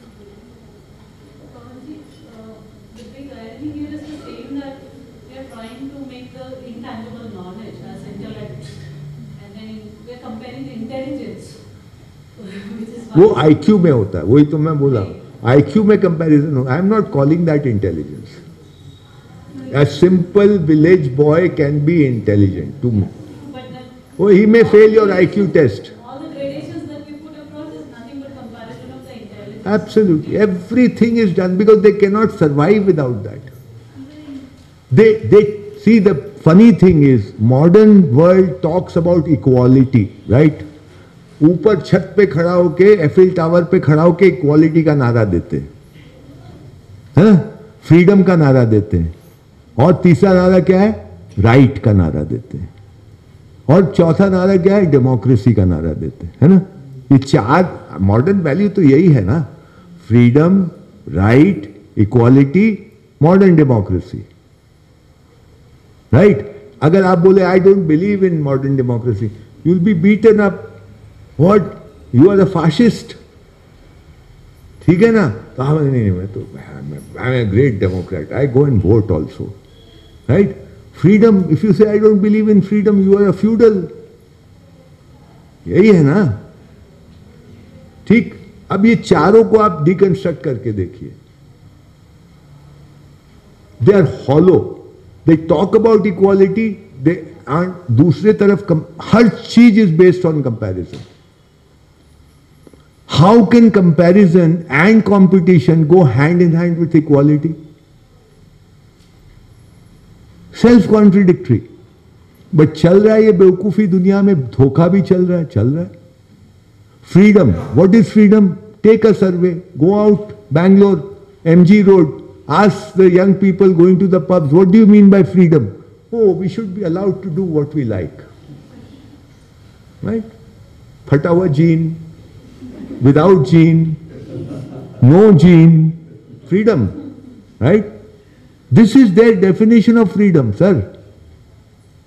Freedom of definition today in this world is I should be allowed to do as I wish. If your father, my mother, your wife, husband, no, you can't. Yesterday, Supreme Court has given the verdict that a wife can have sex outside of marriage. It is not illegal. Freedom. These things are connected. Freedom means you should be allowed to do as you wish. Only thing which will come in the way, only thing which can come in the way is the law of the land.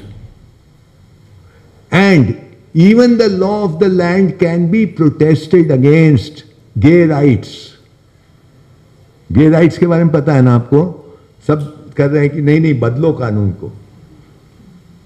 Right nothing should come in the way I should be allowed to do as I wish and my wish उसका कुछ, उस पर कोई control नहीं है।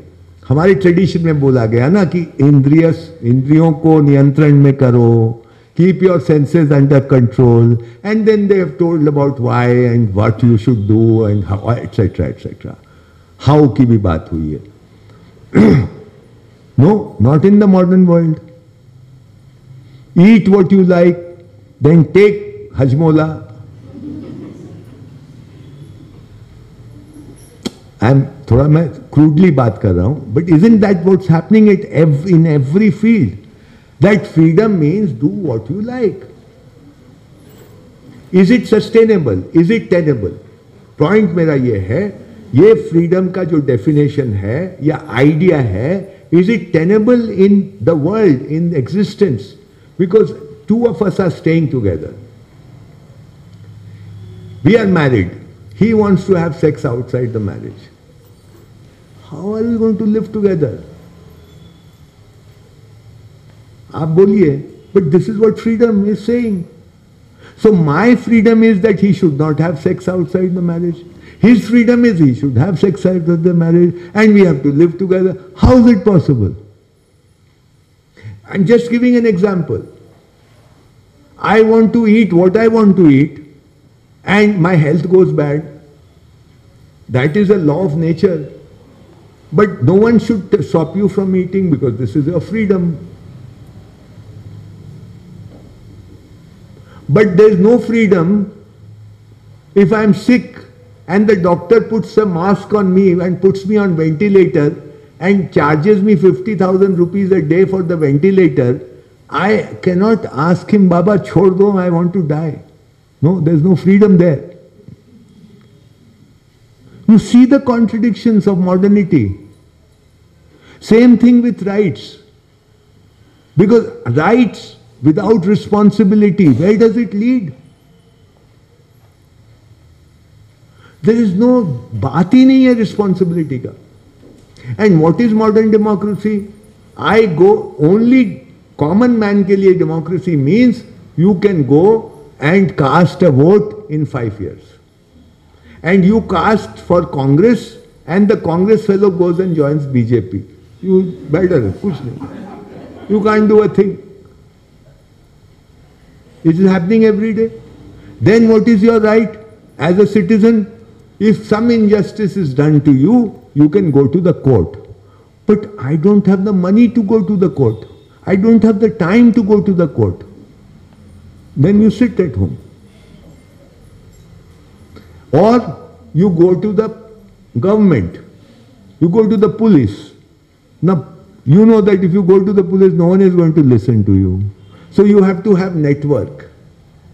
You must know someone who knows the SHO. Right? Nothing happens in straight in democracy. So, but democracy, democracy, उसका ढोल बजाते रहते हैं हम ये all four ideas are bogus ideas. There is no truth in it. Not an iota of truth, according to me. It's a bluff. It's an idea. Idea I call that which you which is not tenable. Like I can have an idea, I am going to fly. Without wings, without aeroplane, I am going to I can think about it. मैं एक painting भी बना सकता हूँ. But I am never going to fly, right? It's not reality. I can swim. I don't know to, how to swim, but I have the capacity to swim because I am a human being. But I don't have the capacity to fly. I am a human being I am not a bird आप समझ रहे हैं मेरी बात पर ये जो modernity है, इसमें बोलता नहीं, तुम कुछ भी सोचो। अभी पता है वेस्ट में क्या हो रहा है? A girl is becoming a boy boy is becoming a girl you know about it this is their freedom this is their right who are you to come in between woke it's called पागल हो गए लोग। हम भी उधर ही जा रहे हैं, आप घबराइए मत बहुत घबराहट है हाँ बहुत घबराहट है क्योंकि जो सही है वो पूरा गड़बड़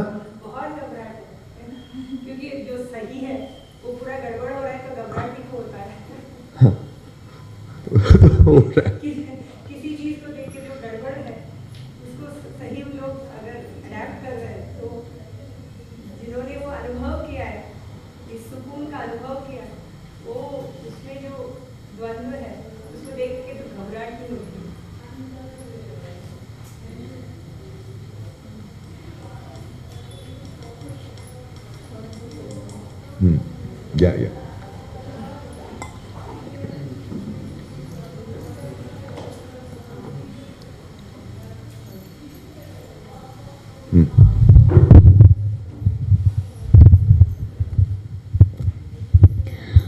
ಮತ್ತೆ ಎಲ್ಲರೂ ಎಂಟು ಇಪ್ಪತ್ತಕ್ಕೆ ಇಲ್ಲಿ ಸೇರೋಣ.